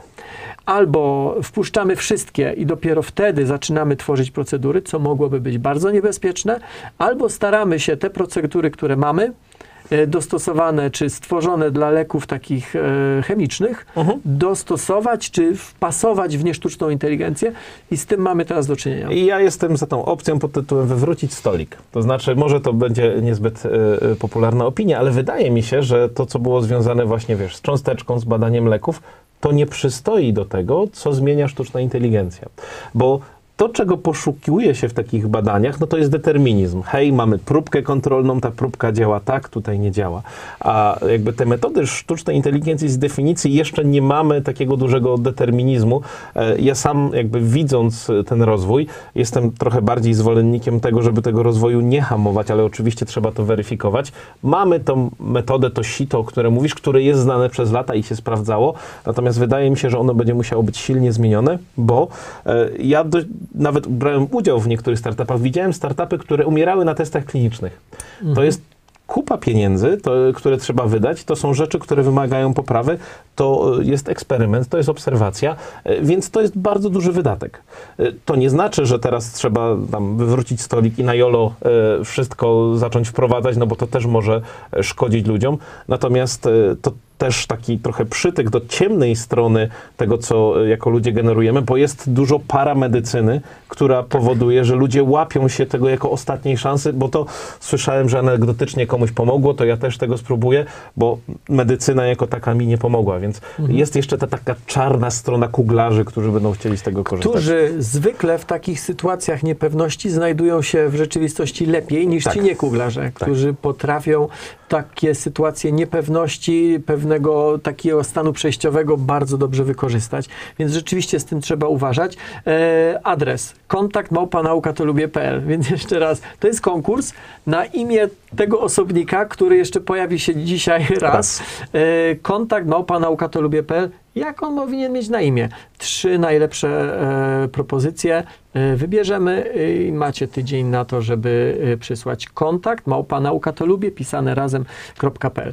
Okej, następne pytanie. Jakie Jakie kompetencje najlepiej pozyskać, aby w przyszłym świecie mieć duże szanse na zarobek? Informatyczne, prawnicze, programistyczne, W filozoficzne? przyszłym świecie wiesz, jak to brzmi? Jak już tam przejdziesz na tą Kolejna stronę. era. Tam, nie, wie, tam nie, wie, nie wiemy, jakie kompetencje są w przyszłym świecie potrzebne po tamtej stronie. Tego A w nie tym wiadomo. świecie A w tym świecie y, ja myślę, że tak samo będą rozwijały się wszystkie dziedziny, e, będą potrzebne i będą miały hiperspecjalizację, ale w oparciu o informacje. To znaczy, tak jak mówiliśmy o tym, że trzeba umieć korzystać z narzędzi, to będą kolejne narzędzia, które będą uruchamiać, otw- otwierać jakby specjalistów w takim kawałku. Więc jeżeli ja jakbym był y, jakimś, na jakiejś specjalizacji medycznej, e, fizycznej i tak dalej, to im bardziej to będzie być w stanie, będzie być w stanie, bo pięknie, im, ba, im bardziej e, będzie to oparte w nowych technologiach, które są w stanie przyspieszać twoją pracę, wspierać, e, tym dla ciebie lepiej, bo potencjalnie jesteś w stanie się szybciej rozwijać. I teraz ten zysk, o którym gdzieś tam mówiliśmy na początku w liczbach, który jest związany z tym, że firmy, które korzystają ze sztucznej inteligencji, szybciej przetwarzają informacje. No bo e, te modele są dobre w podsumowaniach, w abstraktach. Na przykład powiedz mi na podstawie tej książki, co tam byś zrobił w takiej i takiej sytuacji. One sobie radzą w tej przestrzeni, bo gdzieś tam je kotwiczysz i następnie się ruszają. Więc wyobrażam sobie, że cokolwiek robisz i sprawia ci przyjemność, bo tak z mojego doświadczenia wynika, że jeżeli ktoś jest czymś zajarany, to przekracza granice. To po prostu bardziej, bardziej się tym lubi, ale dodaj sobie do tego pewną świadomość tego, co dzieje się w świecie informacyjnym, czyli wykorzystania metod sztucznej inteligencji czy sztucznej inteligencji i to wydaje mi się, że uplasuje większość ludzi w takim w czołówce tego. To tak ode mnie. Zastanawiam się nad tym pytaniem, które często pojawia się w tym kontekście, czy rzeczywiście muszę być inżynierem albo informatykiem. I odpowiadam sobie, m, popraw mnie, jeśli ta moja odpowiedź jest zupełnie bzdurna, ale mm, te algorytmy coraz częściej potrafią robić tą czarną robotę. Tą robotę, która...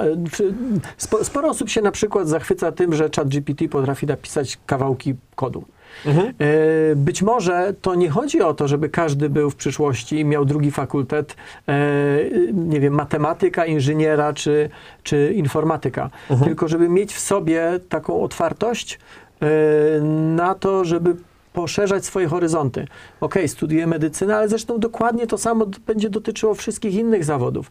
Ale nie zamykam się tylko i wyłącznie na to, staram się też poznać nowe narzędzia. No to jest dokładnie sytuacja, w której mm, e, w którymś momencie urządzeń e, takich do obrazowania e, w szpitalu, w przychodni było na tyle dużo, że lekarz, który nie potrafił ich obsługiwać, bo uznawał, że to nie jest medycyna, e, tak naprawdę był bez dwóch rąk. Nie potrafił Tak. funkcjonować. Więc po prostu jest kwestia otwartości Absolutnie. jakiejś. Okej, kolejne pytanie. Y, y, Która z specjalizacji medycznych jest najbardziej zagrożona zastąpieniem przez algorytmy sztucznej inteligencji oraz dlaczego? E, Wydaje mi się, to zagrożona to tak trochę sugeruje, że to jest jakiś minus. E, Natomiast moim zdaniem tam, gdzie mamy do czynienia z rozpoznawaniem anomalii, z tym, gdzie poszukujemy wzorców, czyli pewnie wszelkie e, rzeczy związane z radiologią będą coraz szybciej wspierane, ale to uwolni czas dla ludzi. Jest taka, wyobrażam sobie, że w psychologii bardzo trudno będzie zastosować tego typu rzeczy. Dlaczego, sk- skąd, ten, skąd ta opinia? Niedawno byłem na wykładzie Mateusza o muzyce, e, który pokazywał, że najnowsze modele, które są wykorzystywane do generowania muzyki, e, one są w stanie utrzymać temat, utrzymać tam, e, że tak powiem, takie skupienie na paręnaście sekund. Z lutego, taki najświeższy, to prawie minutę tam jest w stanie to zrobić. Gdzie tam do Bacha, który potrafił, wiesz, tworzyć bardzo, bardzo długie dzieła, dzieła. I teraz wyobrażam sobie, że my jako ludzie mamy teraz takie skupienie, które może trwać o wiele dłużej, które ma rzeczywiście o wiele większy kontekst. GPT-4 to jest 25 tysięcy słów. To nie jest mało, ale, e, no, ale to dalej w stosunku do tego, co my potrafimy mieć jako nasz kontekst e, człowieka, jest, jest, e, jest niczym. Tak? Więc wyobrażam sobie, że wszystkie te zawody, które będą co, wymagały tego, żeby mieć większy kontekst, szersze pojęcie o tym, e, będą cały czas domeną ludzką. A te takie, gdzie będziemy mieli do czynienia z jakąś detekcją, ewentualnie z, z jakimś wspieraniem informacji, gdzie ta brudna robota, jak to powiedziałeś, e, będzie w stanie być zrobiona, no bo teraz przejrzyj mi wszystkie pliki tego użytkownika, pokaż mi takie, które pasują do e, tego, takiej idei choroby, bo to mi się wydaje, nie? Albo zasugeruj mi coś, ja to tylko sprawdzę. To Jasne. będzie pewnie automatyzowane. Super. I czego się uczyć w tematyce AI, by nie zostać z tyłu, a nawet być o kroku do przodu? E, to jest bardzo trudne. Trochę, trochę y, nawiązując do pytania poprzedniego, y, Tak. czy jakie kompetencje mieć? No właśnie, jak być, na, jak być na bieżąco w sytuacji, w której jesteśmy jak na po prostu kolejce górskiej. E, tak, jedziemy Trochę. na rollercoasterze cały I czas. wydaje mi się, że będziemy przyspieszali. Nie wiem, czy takie jest twoje zdanie. E, Ja mam takie wrażenie, to znaczy ja nie jestem w stanie przetworzyć wszystkich informacji i wszystkich zmian, które się tam dzieją, e, jakby podziwiam ludzi, którzy są w stanie zrobić tego więcej i współczuję wszystkim tym, którzy e, nie za bardzo, dla nich to jest czarna magia, bo to jest bardzo trudne, żeby się w tym połapać. Mamy rozwój e, sztucznej inteligencji w medycynie, mamy large language models, e, tak jak GPT, mamy modele matematyczne, mamy modele do stosowane w wielu dziedzinach i teraz czym one się różnią, co one dają? Ja myślę, że co, trzeba by tak się nastawić, hej, jestem użytkownikiem, ale takim użytkownikiem świadomym, to znaczy wiem, że czasami ta śrubka tam się może omsknąć i do tego zachęcam każdego, żeby wiedział, że e, takie rzeczy będą się pojawiać. I tu pojawia się, nie wiem czy wiecie, ale na przykład przy korzystaniu z GPT powinna się pojawić legalnie informacja, że tam z tyłu jest AI. E, czyli każdy produkt, z którego korzystasz, fajnie, żeby miał taką nalepkę, bo to będzie w pewnym momencie mówiło, hej, jest to zazwyczaj działa, ale jest taka pewna nie, niepewność co do tego, że to zawsze będzie działać. Druga to jest, żeby wejść w to, jak te modele są e, tworzone, no bo jak zaczynacie rozumieć, e, jak one działają, to jesteście w stanie e, nagiąć ich działanie do tego, żeby działały lepiej. To znaczy lepiej zadawać pytania, lepiej wchodzić w interakcje i to daje bardzo często e, dodatkowe korzyści. Jest taki nowy zawód, który się pojawił. On się nazywa prompt engineering po angielsku ładnie, czyli te, ten człowiek, który jest na styku z maszyną, ze sztuczną inteligencją, zadając e, takie pytania, jak wie, jak je zadać dobrze, no to jest w stanie wycisnąć z tego więcej wiedzy, szybciej, w lepszy sposób. I teraz taki trzeci sposób, e, jakby jeszcze głębiej wchodząc w ten temat, to wyobrażam sobie, że ludzie, którzy będą w stanie zrobić dopasowanie tych modeli, bo mamy modele, które są komercyjne, tak jak GPT, dookoła nich powstają produkty e, i to może być albo właśnie dookoła takiego modelu stworzenie czegoś, albo dopasowanie takiego modelu do swojej woli, to będzie coś, co będzie dawało także e, pewien zysk. Wyobraźmy sobie, że jesteśmy firmą, która e, w dziedzinie medycyny przez ileś tam lat badała reakcję na jakiś lek i ma tą wiedzę w jakiś sposób skondensowaną. I teraz, gdyby udało się z tego zrobić chatbota, który doda, od- automatycznie dobiera ci, ci leki, no bo to jest oparte na jakiejś tam, no to można po prostu w prosty sposób to skanalizować i sfinansować. Taki pierwszy przykład. Czyli obudować to tak, żeby to służyło człowiekowi. E, Panie Tomku, panie Tomku, więc Panie ja się czuję. Istotniejszy dla medycyny jest pierwiastek ludzki z empatią czy technologia? O, I już odpowiadam, bo to jest prosta odpowiedź. A dlaczego tam jest czy? właśnie, why not both? Why not both? To jest ten E, mem. Bo to jest pytanie coś w rodzaju, czy istotniejsza jest intuicja lekarza, czy istotniejsze jest to, żeby miał USG? A może intuicja wsparta danymi z USG powoduje, że ten lekarz wsparty technologią jest nie do pobicia. No tak, tak. Tak? Znaczy, tam nie powinno Szybszy, być czy, dokładniejszy. bo to nie jest tak, że mamy albo jedno, albo drugie. Mogę sobie wyobrazić lekarza, ale tak samo nauczyciela, inżyniera i tak dalej, i tak dalej, każdego, kto podchodzi z efektem mierza, tak, nie dotykam tego. A drugiego, który jest otwarty i mówi, why not, Sprawdzam. spróbuję, sprawdzam, Mhm. sprawdzam to. To z całą pewnością ten drugi będzie miał lepsze wyniki, będzie po prostu skuteczniejszy. Statystycznie. Statystycznie, Absolutnie. oczywiście, oczywiście. A czy jak jest kiepski lekarz, nauczyciel, inżynier, to Tak. nawet jak będzie miał nie wiadomo jakie wsparcie, dalej będzie kiepski i ten most się i tak zawali, nawet jeżeli będzie miał naprawdę wsparcie porządnego komputera. Także ja bym nie powiedział, że, że tam powinno być czy. Ja bym powiedział, że tam powinno być i to, i to. Mhm. E, dobra, nie wiem, jeszcze mamy? Y, A jak AI zdecyduje, że leczenie jest już przeciwwskazane, bo może przynieść więcej szkody niż szans na wyleczenie, czyli taki przypadek negatywny. Ja lubię takie przypadki negatywne, bo zawsze trzeba mieć taką gwiazdkę wokół, że wyobraźcie sobie, że gdzieś tam w tym procesie uczenia powstała jakaś ścieżka, która jest negatywna i e, jak to się żartuje, że e, leki to trucizny w odpowiednich dawkach, to wyobrażam sobie, że może dojść do takiej sytuacji, że e, taki model może zasugerować coś, co będzie szkodziło. I to jest normalne. To znaczy, ja bym nie przewidywał, że takie sytuacje nie będą miały miejsca, tylko trzeba będzie te modele dopasowywać. I teraz na czym je dopasowywać? No to wymaga otwartości tych danych, e, dzielenia się takimi przypadkami też negatywnymi otwarcie, a także profilowania, żeby wiedzieć, że można e, tak to zadziałało na tą osobę, bo to, że to zadziała źle na mnie, nie znaczy, że zadziała źle na ciebie. Więc e, to jest ta taka głębia zrozumienia tego, że żeby dobrze operować takimi modelami, trzeba mieć dobrą próbkę statystyczną i trzeba umieć to też zinterpretować, bo e, schodząc troszeczkę do takiego efektu motyla, to jest trochę tak, że jest bardzo dużo czynników, tak? Nie jesteśmy, nie działamy w próżni. Modele też nie działają w próżni. One mają dookoła ludzi, my jako ludzie em, raz czujemy się lepiej, raz gorzej, mamy swoje e, przeświadczenia, mamy swoje jakby skrzywienia, które wynikają z naszych doświadczeń, a to naturalnie zapisuje się też w modelach, które potem wykorzystujemy. Więc wyobrażam sobie, że e, model do wykrywania, no, nie wiem, model radiologiczny, który był uczony na lekarzach e, z, z Krakowa i będzie troszeczkę inny od modelu, który został wyuczony na lekarzach e, z, z MIT. Nie mówię, który jest lepszy, absolutnie. Natomiast one naturalnie będą zawierały pewne opinie i pewne doświadczenia. E, Takie jest moje zdanie w tym Okej. zakresie. Pytanie numer 5 zostawmy sobie na podsumowanie. Dobrze. Dobra. A, a propos MIT, przypomniało mi się, widzisz, ja to tutaj miałem zapisane i jakoś mi to umknęło. E, farmacja, nie mówiliśmy o tym, ale Tak. też analiza danych, nowe leki. E, Tworzenie. wydaje mi się, wydaje mi się, że w MIT powstała, e, powstał algorytm, powstała, mm, tak, algorytm, który potrafił analizować ogromne bazy danych cząsteczek chemicznych Mhm. w poszukiwaniu e, tych cząsteczek, które mogą być skutecznymi antybiotykami.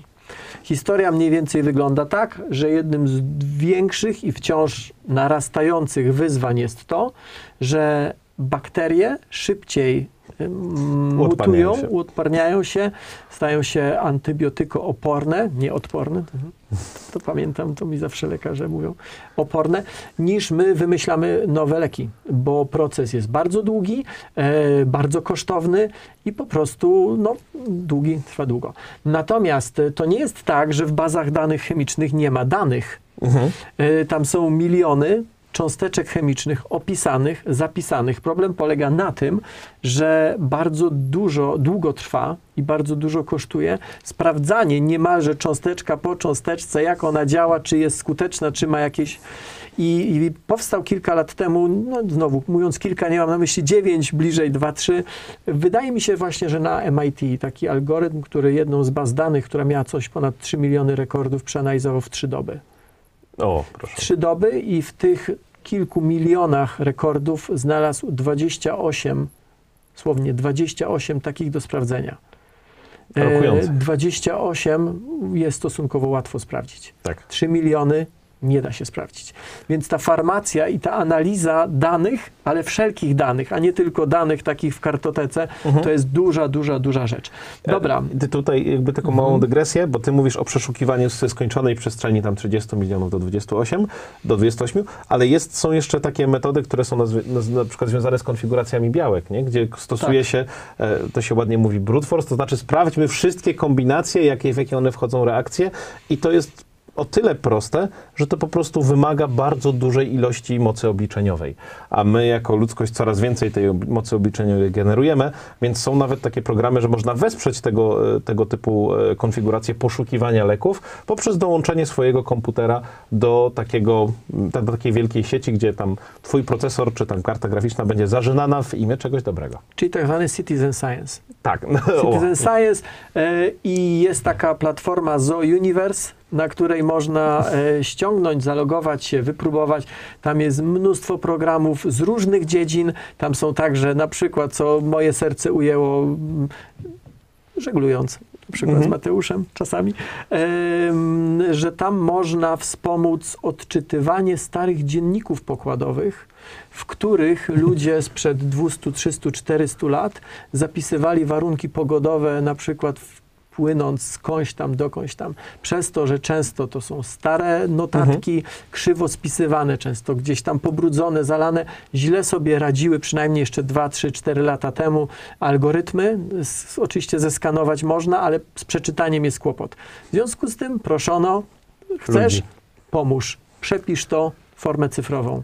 Dzięki Petarda. temu, dzięki temu y, mm, jakiś model jest w stanie analizować, cofając się w przeszłość, budować przyszłość. To tylko tak mówię o tym Zoo Universe, to jest bardzo, bardzo ciekawe. To, to taka malutka dygresja, bo to, to jest super petarda, e, jeżeli chodzi na to, jak się rozmawia w ogóle ze sztuczną inteligencją, bo zobacz, że jako człowiek, rozmawiając na przykład o właśnie tam e, nawigowaniu, ty umieszczasz siebie w pewnym kontekście. E, Umieszczasz się, że jak się próbujesz domyślić, co tam było napisane, to to może być e, o pogodzie, to może być o żaglu, to może być jakby o, o pewnym elementu z pewnego zbioru, który jest ci bliskie. I podobnie działają jakby to przemieszczanie się po przestrzeni rozmowy ze sztuczną inteligencją, bo jak ty nadasz kontekst, a ten kontekst, tam GPT-4 to jest obecnie te 25 tysięcy słów, to tylko tyle wie, nic więcej, tak? Ale my jako ludzie mamy jeszcze tą przewagę, że jesteśmy w stanie po tych kontekstach sobie pięknie skakać i zazwyczaj mamy ich wiele. Okej. Y, Jest tutaj jedno pytanie do ciebie. Mm, y, Drugie. A nie, to to pytanie już było, to to już, to, to już w takim razie wyrzucamy. To już było, prawda?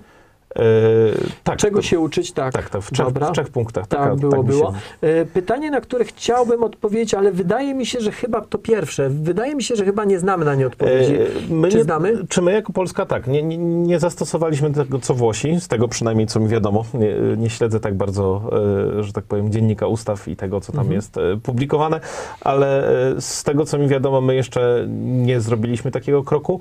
E, Jest taka europejska regulacja AI Act, to pewnie porozmawiamy przy innej okazji. Ona jest przygotowana od paru lat, ale to, gdzie jesteśmy teraz w punkcie jako ludzkość, gdzie bardzo dużo e, się dzieje, gdzie ludzie zaczynają reagować, m, pokazuje, jak bardzo jest to potrzebne, jak bardzo potrzebujemy regulacji.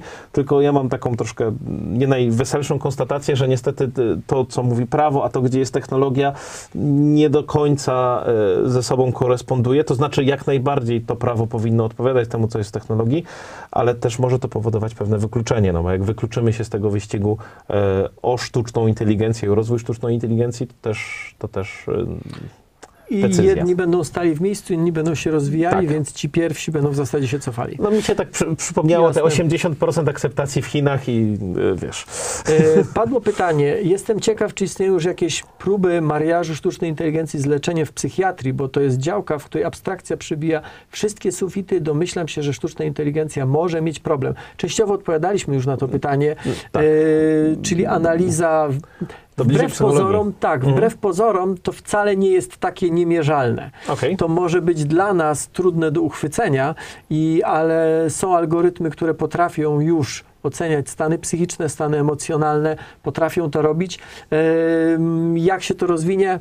Zobaczymy. E, Tak sobie pomyślałem, zgodnie z tym żartem, nie ma zdrowych ludzi, są tylko źle zdiagnozowani. E, Mam nadzieję, że, że możliwości diagnostyczne, które będzie dawała sztuczna inteligencja i to, że będziemy w stanie mieć coraz więcej możliwości przetwarzania spowoduje, że będziemy to coraz wcześniej łapać i pomagać sobie, zanim dojdziemy do jakichś ostrzejszych stanów. do ściany. Tak. Skoro sztuczna inteligencja staje się lepsza w grze w szachy, to dlaczego nie ma być z czasem lepsza w wywieraniu wpływu, technikach manipulacji Absolutnie. do ludzi? Zróbmy sobie to na, na osobny Dobrze, odcinek, dob- dobra? okej, Bo to jest to jest bardzo, petarda. bardzo ważna rzecz, a nie chcę tego zostawiać jednym tylko i wyłącznie Zdaniem. zdaniem. Dobra, moja propozycja jest taka. Pogadajmy o zagrożeniach Si. i, z, i, dobijajmy powoli do brzegu, bo jesteśmy już godzina O. 22 minuty. Bardzo 10 się minut. cieszę, bardzo dziękuję, że z nami jesteście. Jeszcze raz, jeżeli Wam się podoba, to bardzo proszę udostępnijcie e, to nasze spotkanie. Przypominam też o konkursie. Kontakt małpanauka to lubię .pl, jak ma na imię, czy jak powinien mieć na imię ten jegomość. Który zaraz się e, wypowie. Który zresztą zaraz się, myślę, e, wypowie, ale nie. Najpierw się wypowie jeszcze inny jegomość i poproszę tego innego jegomościa, który ma już imię. Dobrze, e, tak. Jeżeli chodzi o zagrożenia, które z tym związane, no to mamy tak. Jedna to jest taka ścieżka, że będziemy się mylić i to jest nieuniknione, jako ludzie też się mylimy. Mamy e, mechanizmy, które wytworzyliśmy w czasie na to, żeby radzić sobie z, z pomyłkami. Konsylia. Czyli spotyka się więcej osób, patrzą na to z różnych perspektyw, z różnych doświadczeń i podejmują wspólnie decyzje. I teraz e, takie konsylia konsyliów, jak sobie wyobrażam, gdybyśmy mieli coraz więcej modeli, które będą e, uczone na różnych danych, powiedzmy mamy tutaj danych, e, dane, jakiś model z Polski, model z innych krajów lub na, w inny sposób, na różnych rodzajach populacji, które są w stanie decydować, one mogą da, dać bardzo podobny efekt, tylko wymagałoby to takiej wymiany, takiej dyfuzji e, tak naprawdę wiedzy i otwartości w tym, w tym co się dzieje. Wszystkim tutaj jest też cały czas człowiek i Tak. nic nie wskazuje na to, żeby z tego procesu zniknął. tak. Więc e, oczywiście mogę sobie wyobrazić sytuację, e, że mm, lekarz odpuszcza, tak? To znaczy mówi, skoro mam potężne narzędzie, to co ja się będę napinał? Mniej więcej tak samo, jak mogę sobie wyobrazić, że ktoś, kto ma napisać tekst, sobie odpuszcza. Co się będę napinał, skoro mogę po- zapytać, czy poprosić chat GPT, żeby napisał za mnie. Oczywiście. No, ale nie mówimy o sytuacjach patologicznych, nie mówimy o e, intelektualnych leniach czy spryciarzach, mówimy o sytuacji, w której e, no, wierzymy w to, że lekarz robi swoje, nauczyciel robi swoje, a inżynier robi swoje. E, Mateuszu, wypuśćmy może teraz e, film, e, trochę, który będzie o zagrożeniach. Okej. Oczywiście trzeba wszystko robić z rozwagą i e, z, w sposób przemyślany. Sztuczna inteligencja nie jest doskonała i, i zawiera swoje ograniczenia. Na pewno podstawową sprawą to jest edukacja. E, Trzeba uświadamiać cały czas osoby, jakie są e, zakresy zastosowania sztucznej inteligencji. E, To wynika bezpośrednio z danych, e, które użyliśmy do, do trenowania sztucznej inteligencji, więc one jak gdyby definiują nam to, jaki jest obszar zastosowania i to trzeba bardzo jasno komunikować, trzeba e, o tym, trzeba szkolić lekarzy, trzeba szkolić użytkowników, tak żeby wiedzieli, w jakich sytuacjach można zaufać wynikowi otrzymanemu przez sztuczną inteligencję, a w jakich sytuacjach jednak należy polegać na swojej intuicji. W przypadku naszego produktu, czyli e, elektronicznego stetoskopu, który e, automatycznie wykrywa zmiany osłuchowe w płucach, e, niestety nie ma żadnego złotego standardu, który by określał, czy takie dźwięki występują, czy nie. Dlatego cała wiedza, którą my używamy do trenowania naszych modeli, pochodzi bezpośrednio od lekarzy. E, I był to bardzo duży projekt, który polegał na tym, że najpierw stworzyliśmy bazę danych i narzędzia do rejestrowania i do opisywania takich nagrań. Nasza procedura zakłada, że każde nagranie zarejestrowane przez, e, przez lekarza, którzy z nami współpracują i e, dzięki zgodzie Komisji Bioetycznej nagrywają swoich pacjentów. W ramach tej procedury co najmniej trzech lekarzy i dwóch akustyków opisuje każde nagranie wykonane, wykonane w ten sposób. E, I dzięki temu mm, dane, które mamy w bazie są wysokiej jakości i na tej podstawie dopiero trenujemy nasze algorytmy sztucznej inteligencji. Także w naszym przypadku cała wiedza ekspercka pochodzi bezpośrednio od lekarzy. Oczywiście mamy kilka etapów testowania takiego modelu. E, Podstawowa sprawa to oczywiście mamy zbiór, testowy zbiór nagrań, które zostały opisane w taki sam sposób, jak, e, jak wcześniej opowiedziałem, czyli przez kilku lekarzy, którzy dodatkowo w spornych przypadkach spotykają się i dyskutują, aż dojdą do konsensusu e, co do tego, jakie dźwięki występują w nagraniu. Więc to jest jakby nasz złoty standard. I w, mamy też zbiór testowy, którego nigdy nie używamy do, do trenowania modelu, i właśnie na tym zbiorze testujemy skuteczność modelu, wyznaczając standardowe metryki, takie jak e, w innych e, zastosowaniach, na przykład recall, precision czy miara F1. To jest na takim powiedzmy najniższym poziomie szczegółowości, czyli na pojedynczych e, ramkach sygnału akustycznego.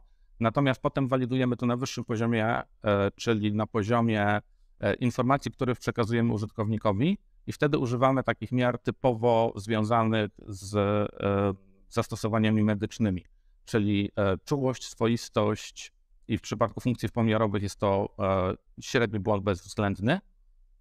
Mm, I oczywiście porównujemy się do czegoś. W przypadku wykrywania e, zmian osłuchowych porównujemy się do skuteczności przeciętnego lekarza, czyli ten sam zbiór, dla którego mamy złoty standard. Poprosiliśmy o opisanie niezależnej grupy lekarzy, tym razem już bez żadnych konsultacji. E, Mieli okazję te nagrania opisać i sprawdzamy, kto jest bardziej skuteczny w wykrywaniu zmian osłuchowych. Czy jest to sztuczna inteligencja, czy są to lekarze. Mm, I właśnie Dzięki temu wiemy, że w pewnym momencie nasze algorytmy uzyskały taki poziom do, dokładności, że przewyższyły skuteczność czy mo- możliwości percepcji lekarzy i to była podstawa do tego, że, że uznaliśmy, że to jest na pewno produkt, który jesteśmy w stanie już komercjalizować, możemy go certyfikować jako urządzenie medyczne i e, wypuścić na rynek, bo wiemy, że, że będzie skuteczne i że będzie pomocne e, pacjentom. Tomasz Grzywalski, Head of Research z firmy, która zajmuje się budową stetoskopów, które oceniają po dźwiękach yy, i właśnie w tej ocenie sztuczna inteligencja, algorytmy, które oceniają po dźwiękach, czy diagnozują po tym, co stetoskop słyszy. E, Mateuszu, chciałeś o tych zagrożeniach jeszcze wspomnieć w kontekście jakości pracy lekarza. Tak. Y, Padło takie pytanie, a czy takie narzędzia nie zmniejszą nam jakości lekarzy? Przecież lekarz przestanie się uczyć i ich jakość zacznie spadać, bo będzie liczył, co nam powie AI. Y, Ja mam takie bardziej optymistyczne podejście. To znaczy, wyobraźmy sobie, że jest część społeczeństwa, których albo nie stać na lekarzy, albo jest taki duży popyt na pewnych specjalistów, że nie są się w stanie dopchać. Bo taką sytuację obserwujemy nie tylko w Polsce.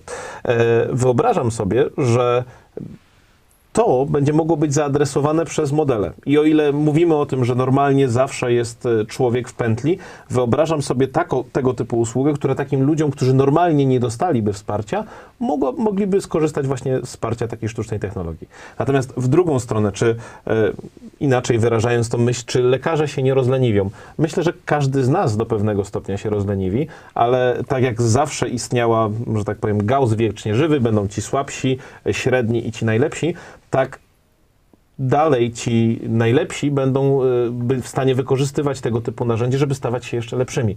I mam nadzieję, że będą gdzieś tam tworzyli y, sposoby nauczania i wykorzystywania tego. Więc ja widzę w tym zagrożenie, że oczywiście będą tacy, a tam recepta, co mi tam ChatGPT powie, czy tam inna sztuczna inteligencja i okej, ale dalej trzeba mieć świadomość tego, że to będzie tylko jakiś odsetek z jakiegoś rozkładu. Ale myślę, że to też jest trochę tak, że być może niektóre kompetencje lekarzy będą odchodziły, ale będą przychodziły inne. Interpretacja danych, Wydaje mi mega. się, że dzisiaj niektórzy lekarze nie byliby w stanie przeprowadzić niektórych badań, Mhm. e, które były zupełnym standardem jeszcze na przykład 100 lat temu.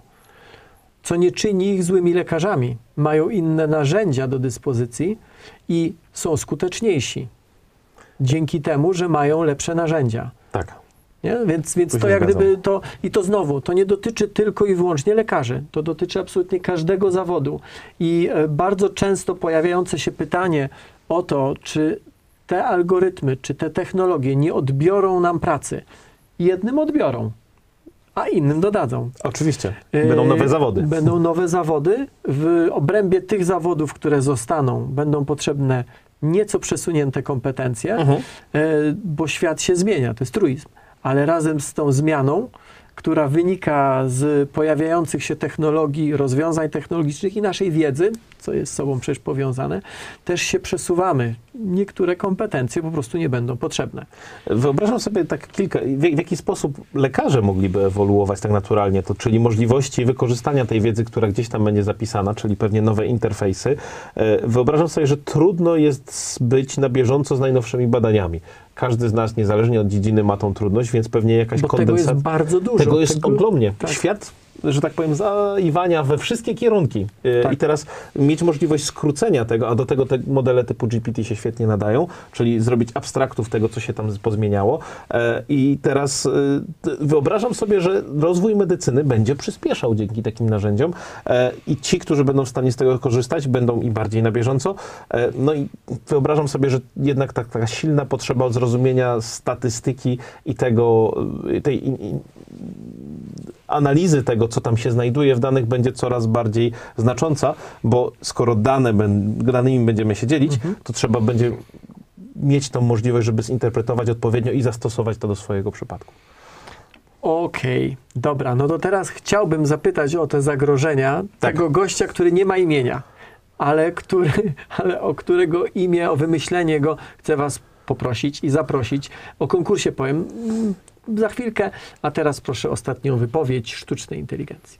Stosowanie AI w medycynie może wiązać się z kilkoma zagrożeniami, takimi jak Bezpieczeństwo danych medycznych. Stosowanie AI w medycynie wymaga przechowywania i przetwarzania dużej ilości danych medycznych, co może prowadzić do zagrożeń związanych z prywatnością i bezpieczeństwem tych danych. Błędy i nieprawidłowe diagnozy. AI nie jest wolne od błędów i nieprawidłowych diagnoz, szczególnie jeśli algorytmy nie są dostatecznie przetestowane i skalibrowane. Uzależnienie od technologii. W przypadku zbyt dużego polegania na AI istnieje ryzyko, że lekarze i personel medyczny stracą umiejętność manualnej analizy i interpretacji wyników, co może prowadzić do pogorszenia jakości opieki medycznej. Brak kontroli nad algorytmami AI istnieje ryzyko, że algorytmy AI mogą działać w sposób, który nie jest zgodny z intencjami ich twórców, co może prowadzić do błędów i szkód dla pacjentów. Problemy z etyką i odpowiedzialnością. W przypadku AI w medycynie istnieje ryzyko, że decyzje dotyczące opieki medycznej będą opierać się na algorytmach, co może prowadzić do trudnych pytań etycznych i braku odpowiedzialności za decyzje podejmowane przez AI. Dlatego też AI powinna być stosowana w medycynie z umiarem, odpowiednio przetestowana i monitorowana w celu minimalizowania ryzyka związanego z jej stosowaniem. Dla tych, którzy jeszcze nie zapisali adresu, kontakt małpanaukatolubie.pl. Szukamy imienia dla tego jegomościa, który przed chwilką e, po raz trzeci pojawił się na naszym live. Po raz trzeci i ostatni opowiadał o zagrożeniach. O tych zagrożeniach też z Mateuszem rozmawiamy, mm, e, zarówno wtedy, kiedy rozmawiamy, ale jesteśmy tak wkręceni, że nawet jak kto inny się wypowiada, to my sobie tutaj wewnętrznie rozmawiamy. Mateuszu, gdybyś miał podsumować, powiedz mi, czy w medycynie zagrożenia związane ze sztuczną inteligencją, one są jakoś znacząco inne od zagrożeń związanych ze sztuczną inteligencją w innych dziedzinach, w których ta sztuczna inteligencja działa i się rozwija? Nie, myślę, że zasadniczo chodzi o materię. Materia jest bardzo bliska człowieka, jest bliska tego, że to wpływa na nas jako ludzi, więc niezależnie czy to będzie rozwój e, nowych leków, które czasami może być też związany z rozwojem nowych trucizn, bo każdy kij ma dwa końce, a praca ma trzy, e, czy to będzie związane z tym, w jaki sposób leczyć ludzi, bo może być tak, że ktoś tutaj coś spaczy w pewien sposób, e, a my jako ludzie no nie mamy w tej chwili jeszcze metod, żeby zbadać intencje tego, co tam było w środku, więc to jest O takie ile same... to coś w środku w ogóle ma jakiekolwiek intencje. A, No tak, tak, tak, no, za, zakładają Okej, coś takiego. jasne. Ale to tak, wiesz, ktoś za, zamyka cię w tomografię, no i teraz y, nie wiedząc, jak to wszystko działa, bardzo wiele rzeczy musisz wziąć na wiarę. Ktoś zrobił badania i tak dalej. To jest wszystko zewnętrzne, tak? Nie jesteś w stanie tego sam jako człowiek wyeksperymentować, chyba, że tam całe życie na to poświęcisz. Więc musimy temu zaufać. No i teraz y, siła i, i za, zarazem ta słabość właśnie pochodzi z tego zaufania. Czyli musimy wziąć na wiarę, że osoby, które tworzyły e, tą, bo tam dalej są ludzie w tym procesie, miały dobre intencje, czyli cel zastosowania i wyuczenia tej sztucznej inteligencji był dobry, no i że statystycznie jest ona poprawiana w dobrym, w dobrym kierunku. No bo e, oczywiście będziemy mieli te e, reakcje, to znaczy coś poszło nie tak, tak jak są konsylia, będzie douczanie tych modeli i to będzie absolutnie naturalne, ale to nie jest nic innego niż to, co się dzieje w naszym przypadku, bo z tego, co mi wiadomo, na konferencjach, na spotkaniach też dochodzi do dyfuzji wiedzy, to znaczy lekarze ze sobą rozmawiają, dzwonią i to w naturalny sposób podnosi jakość wszystkiego, e, jak- jakość medycyny, bo bez tej wymiany informacji mielibyśmy ograniczone doświadczenie tylko do swojego. A tak mamy szersze. Okej. W formie podsumowania jedno z pytań, które padło, ono zresztą pojawiało się już wcześniej, Mhm. ale chcę na nie odpowiedzieć. Chcę, żebyś ty na nie odpowiedział, a później chcę nawiązać, e, znaczy chcę powiedzieć, co ja o tym myślę. Co panowie sądzą na temat apelu Ilona Maska, między innymi Ilona Maska, w którym wzywa do zastanowienia się nad rozwojem szeroko pojętej sztucznej inteligencji? To jest prawdziwy problem, ale wydaje mi się, że jeszcze tam nie jesteśmy. To jest moja interpretacja. Elon mówi, zaprzestańmy e, rozwoju wszystkich nowych, silniejszych modeli niż GPT-4, bo jakby strach, tam jest troszkę argumentów i tak dalej. I to jest związane z trajektorią rozwoju sztucznej inteligencji, bo jakby futurolodzy i ludzie, którzy zajmują się tematem, widzą, że w pewnym momencie ta eksponenta, czyli ten szybkość rozwoju gdzieś tam sztucznej inteligencji, ona zacznie odbijać do góry i będzie... Prawo Mora? E, Nawet szybciej? E, tak, jakby idea jest taka, że w pewnym momencie już tego nie ogarniemy, że to się wymknie spod kontroli. I teraz jest kilka opcji.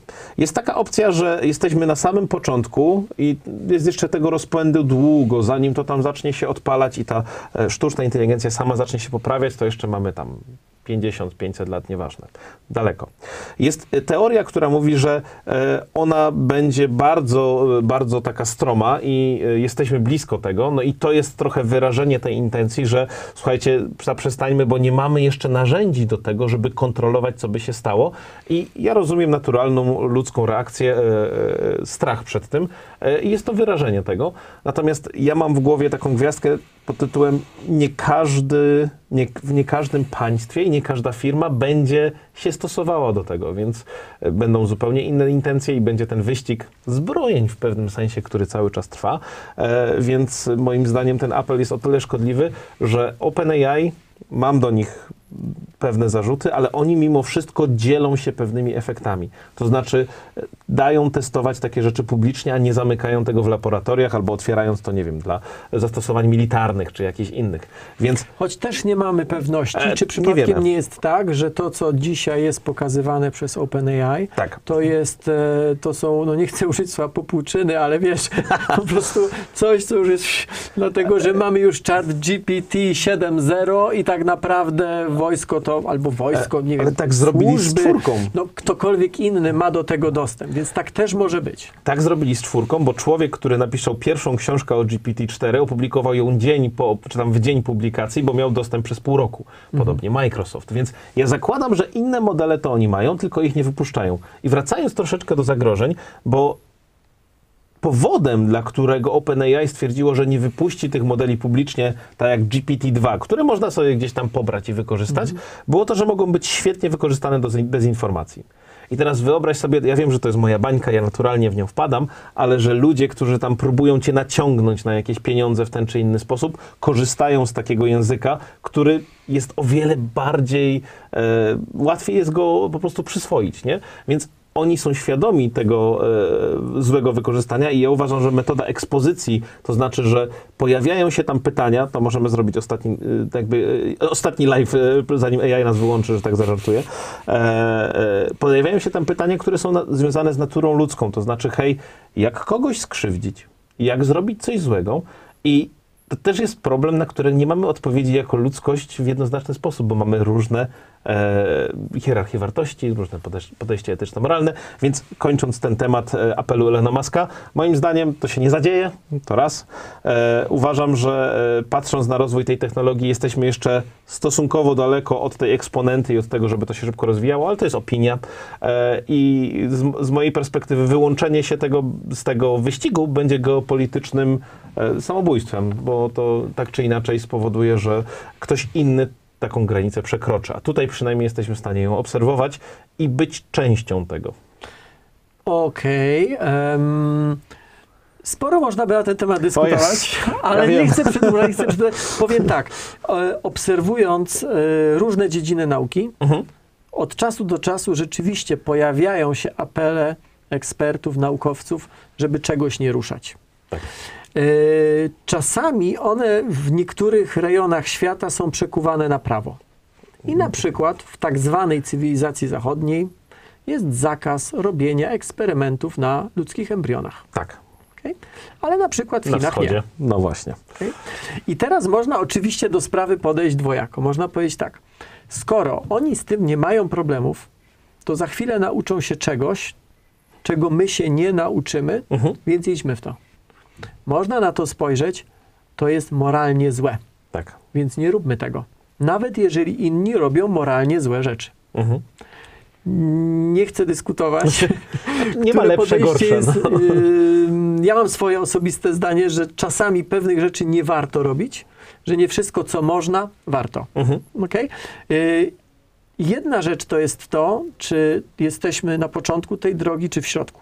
Tak. Ale zupełnie Jak krzywo jest. Jak krzywo jest i czy to rzeczywiście będzie, wiesz, funkcja eksponencjalna, czy nie. Inna zupełnie sprawa to jest to, czy to się da zatrzymać. E, tak, to jest... Okej, Bo to są trochę dwie różne rzeczy. Można dyskutować, czy ten apel ma sens na poziomie takim meta, Mhm. a można powiedzieć tak, ma sens, ale i tak tego nie zatrzymamy. To jest możliwe, bo To jak jest to możliwe. zatrzymać? Bo jak to zatrzymać? Dobra, kończymy.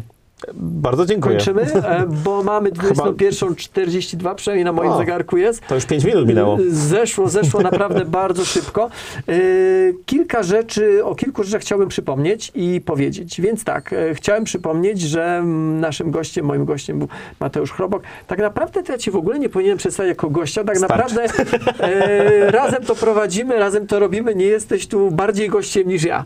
E, jesteśmy razem e, dwoma gośćmi, którzy to po prostu prowadzą. Bardzo Mateusz dziękuję. Chrobok, specjalista od technologii cyfrowych, bezpieczeństwa i sztucznej inteligencji. Więc to pi- pierwsza sprawa. Sprawa druga. Chciałem Was bardzo, bardzo serdecznie zaprosić, po pierwsze, do oglądania, do zobaczenia e, poprzedniego naszego live'a.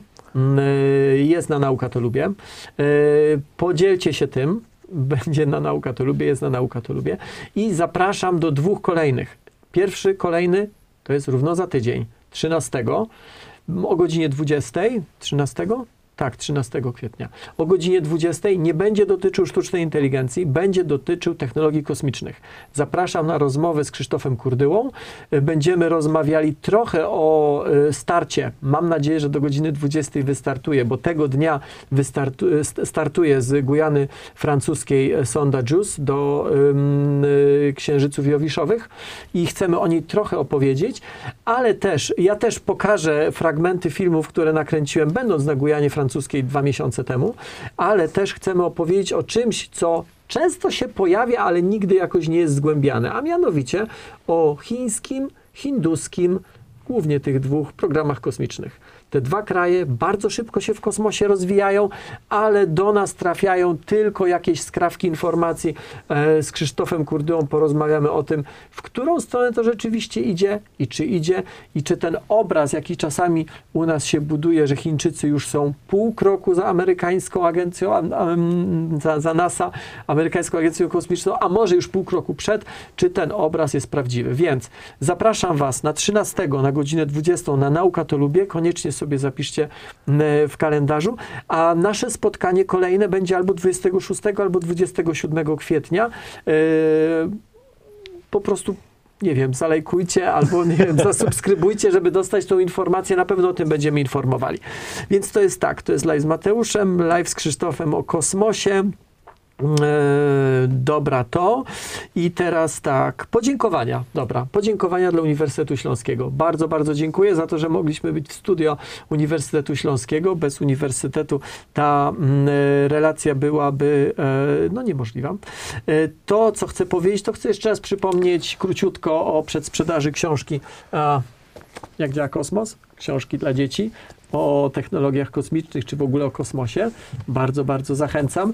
Yy, I zerknijcie do sklepu Nauka to Lubię, sklep naukatolubię.pl, bo tam możecie znaleźć też na przykład koszulki, a przy okazji wspieracie naszą działalność, dzięki której możemy realizować między innymi takie live'y. No dobra, to, to powiedziałem, to powiedziałem, to powiedziałem, to powiedziałem. Mm, jakieś słowo na dobranoc? Jeżeli macie jeszcze jakieś pytania o sztuczną inteligencję, to jest tak, że ja się tam zapuszczam w te komentarze i, Mhm. i czasami czytam, natomiast z, z odpowiedziami jest trudno, e, bo to wiadomo, że wszyscy jesteśmy ograniczeni co do czasu.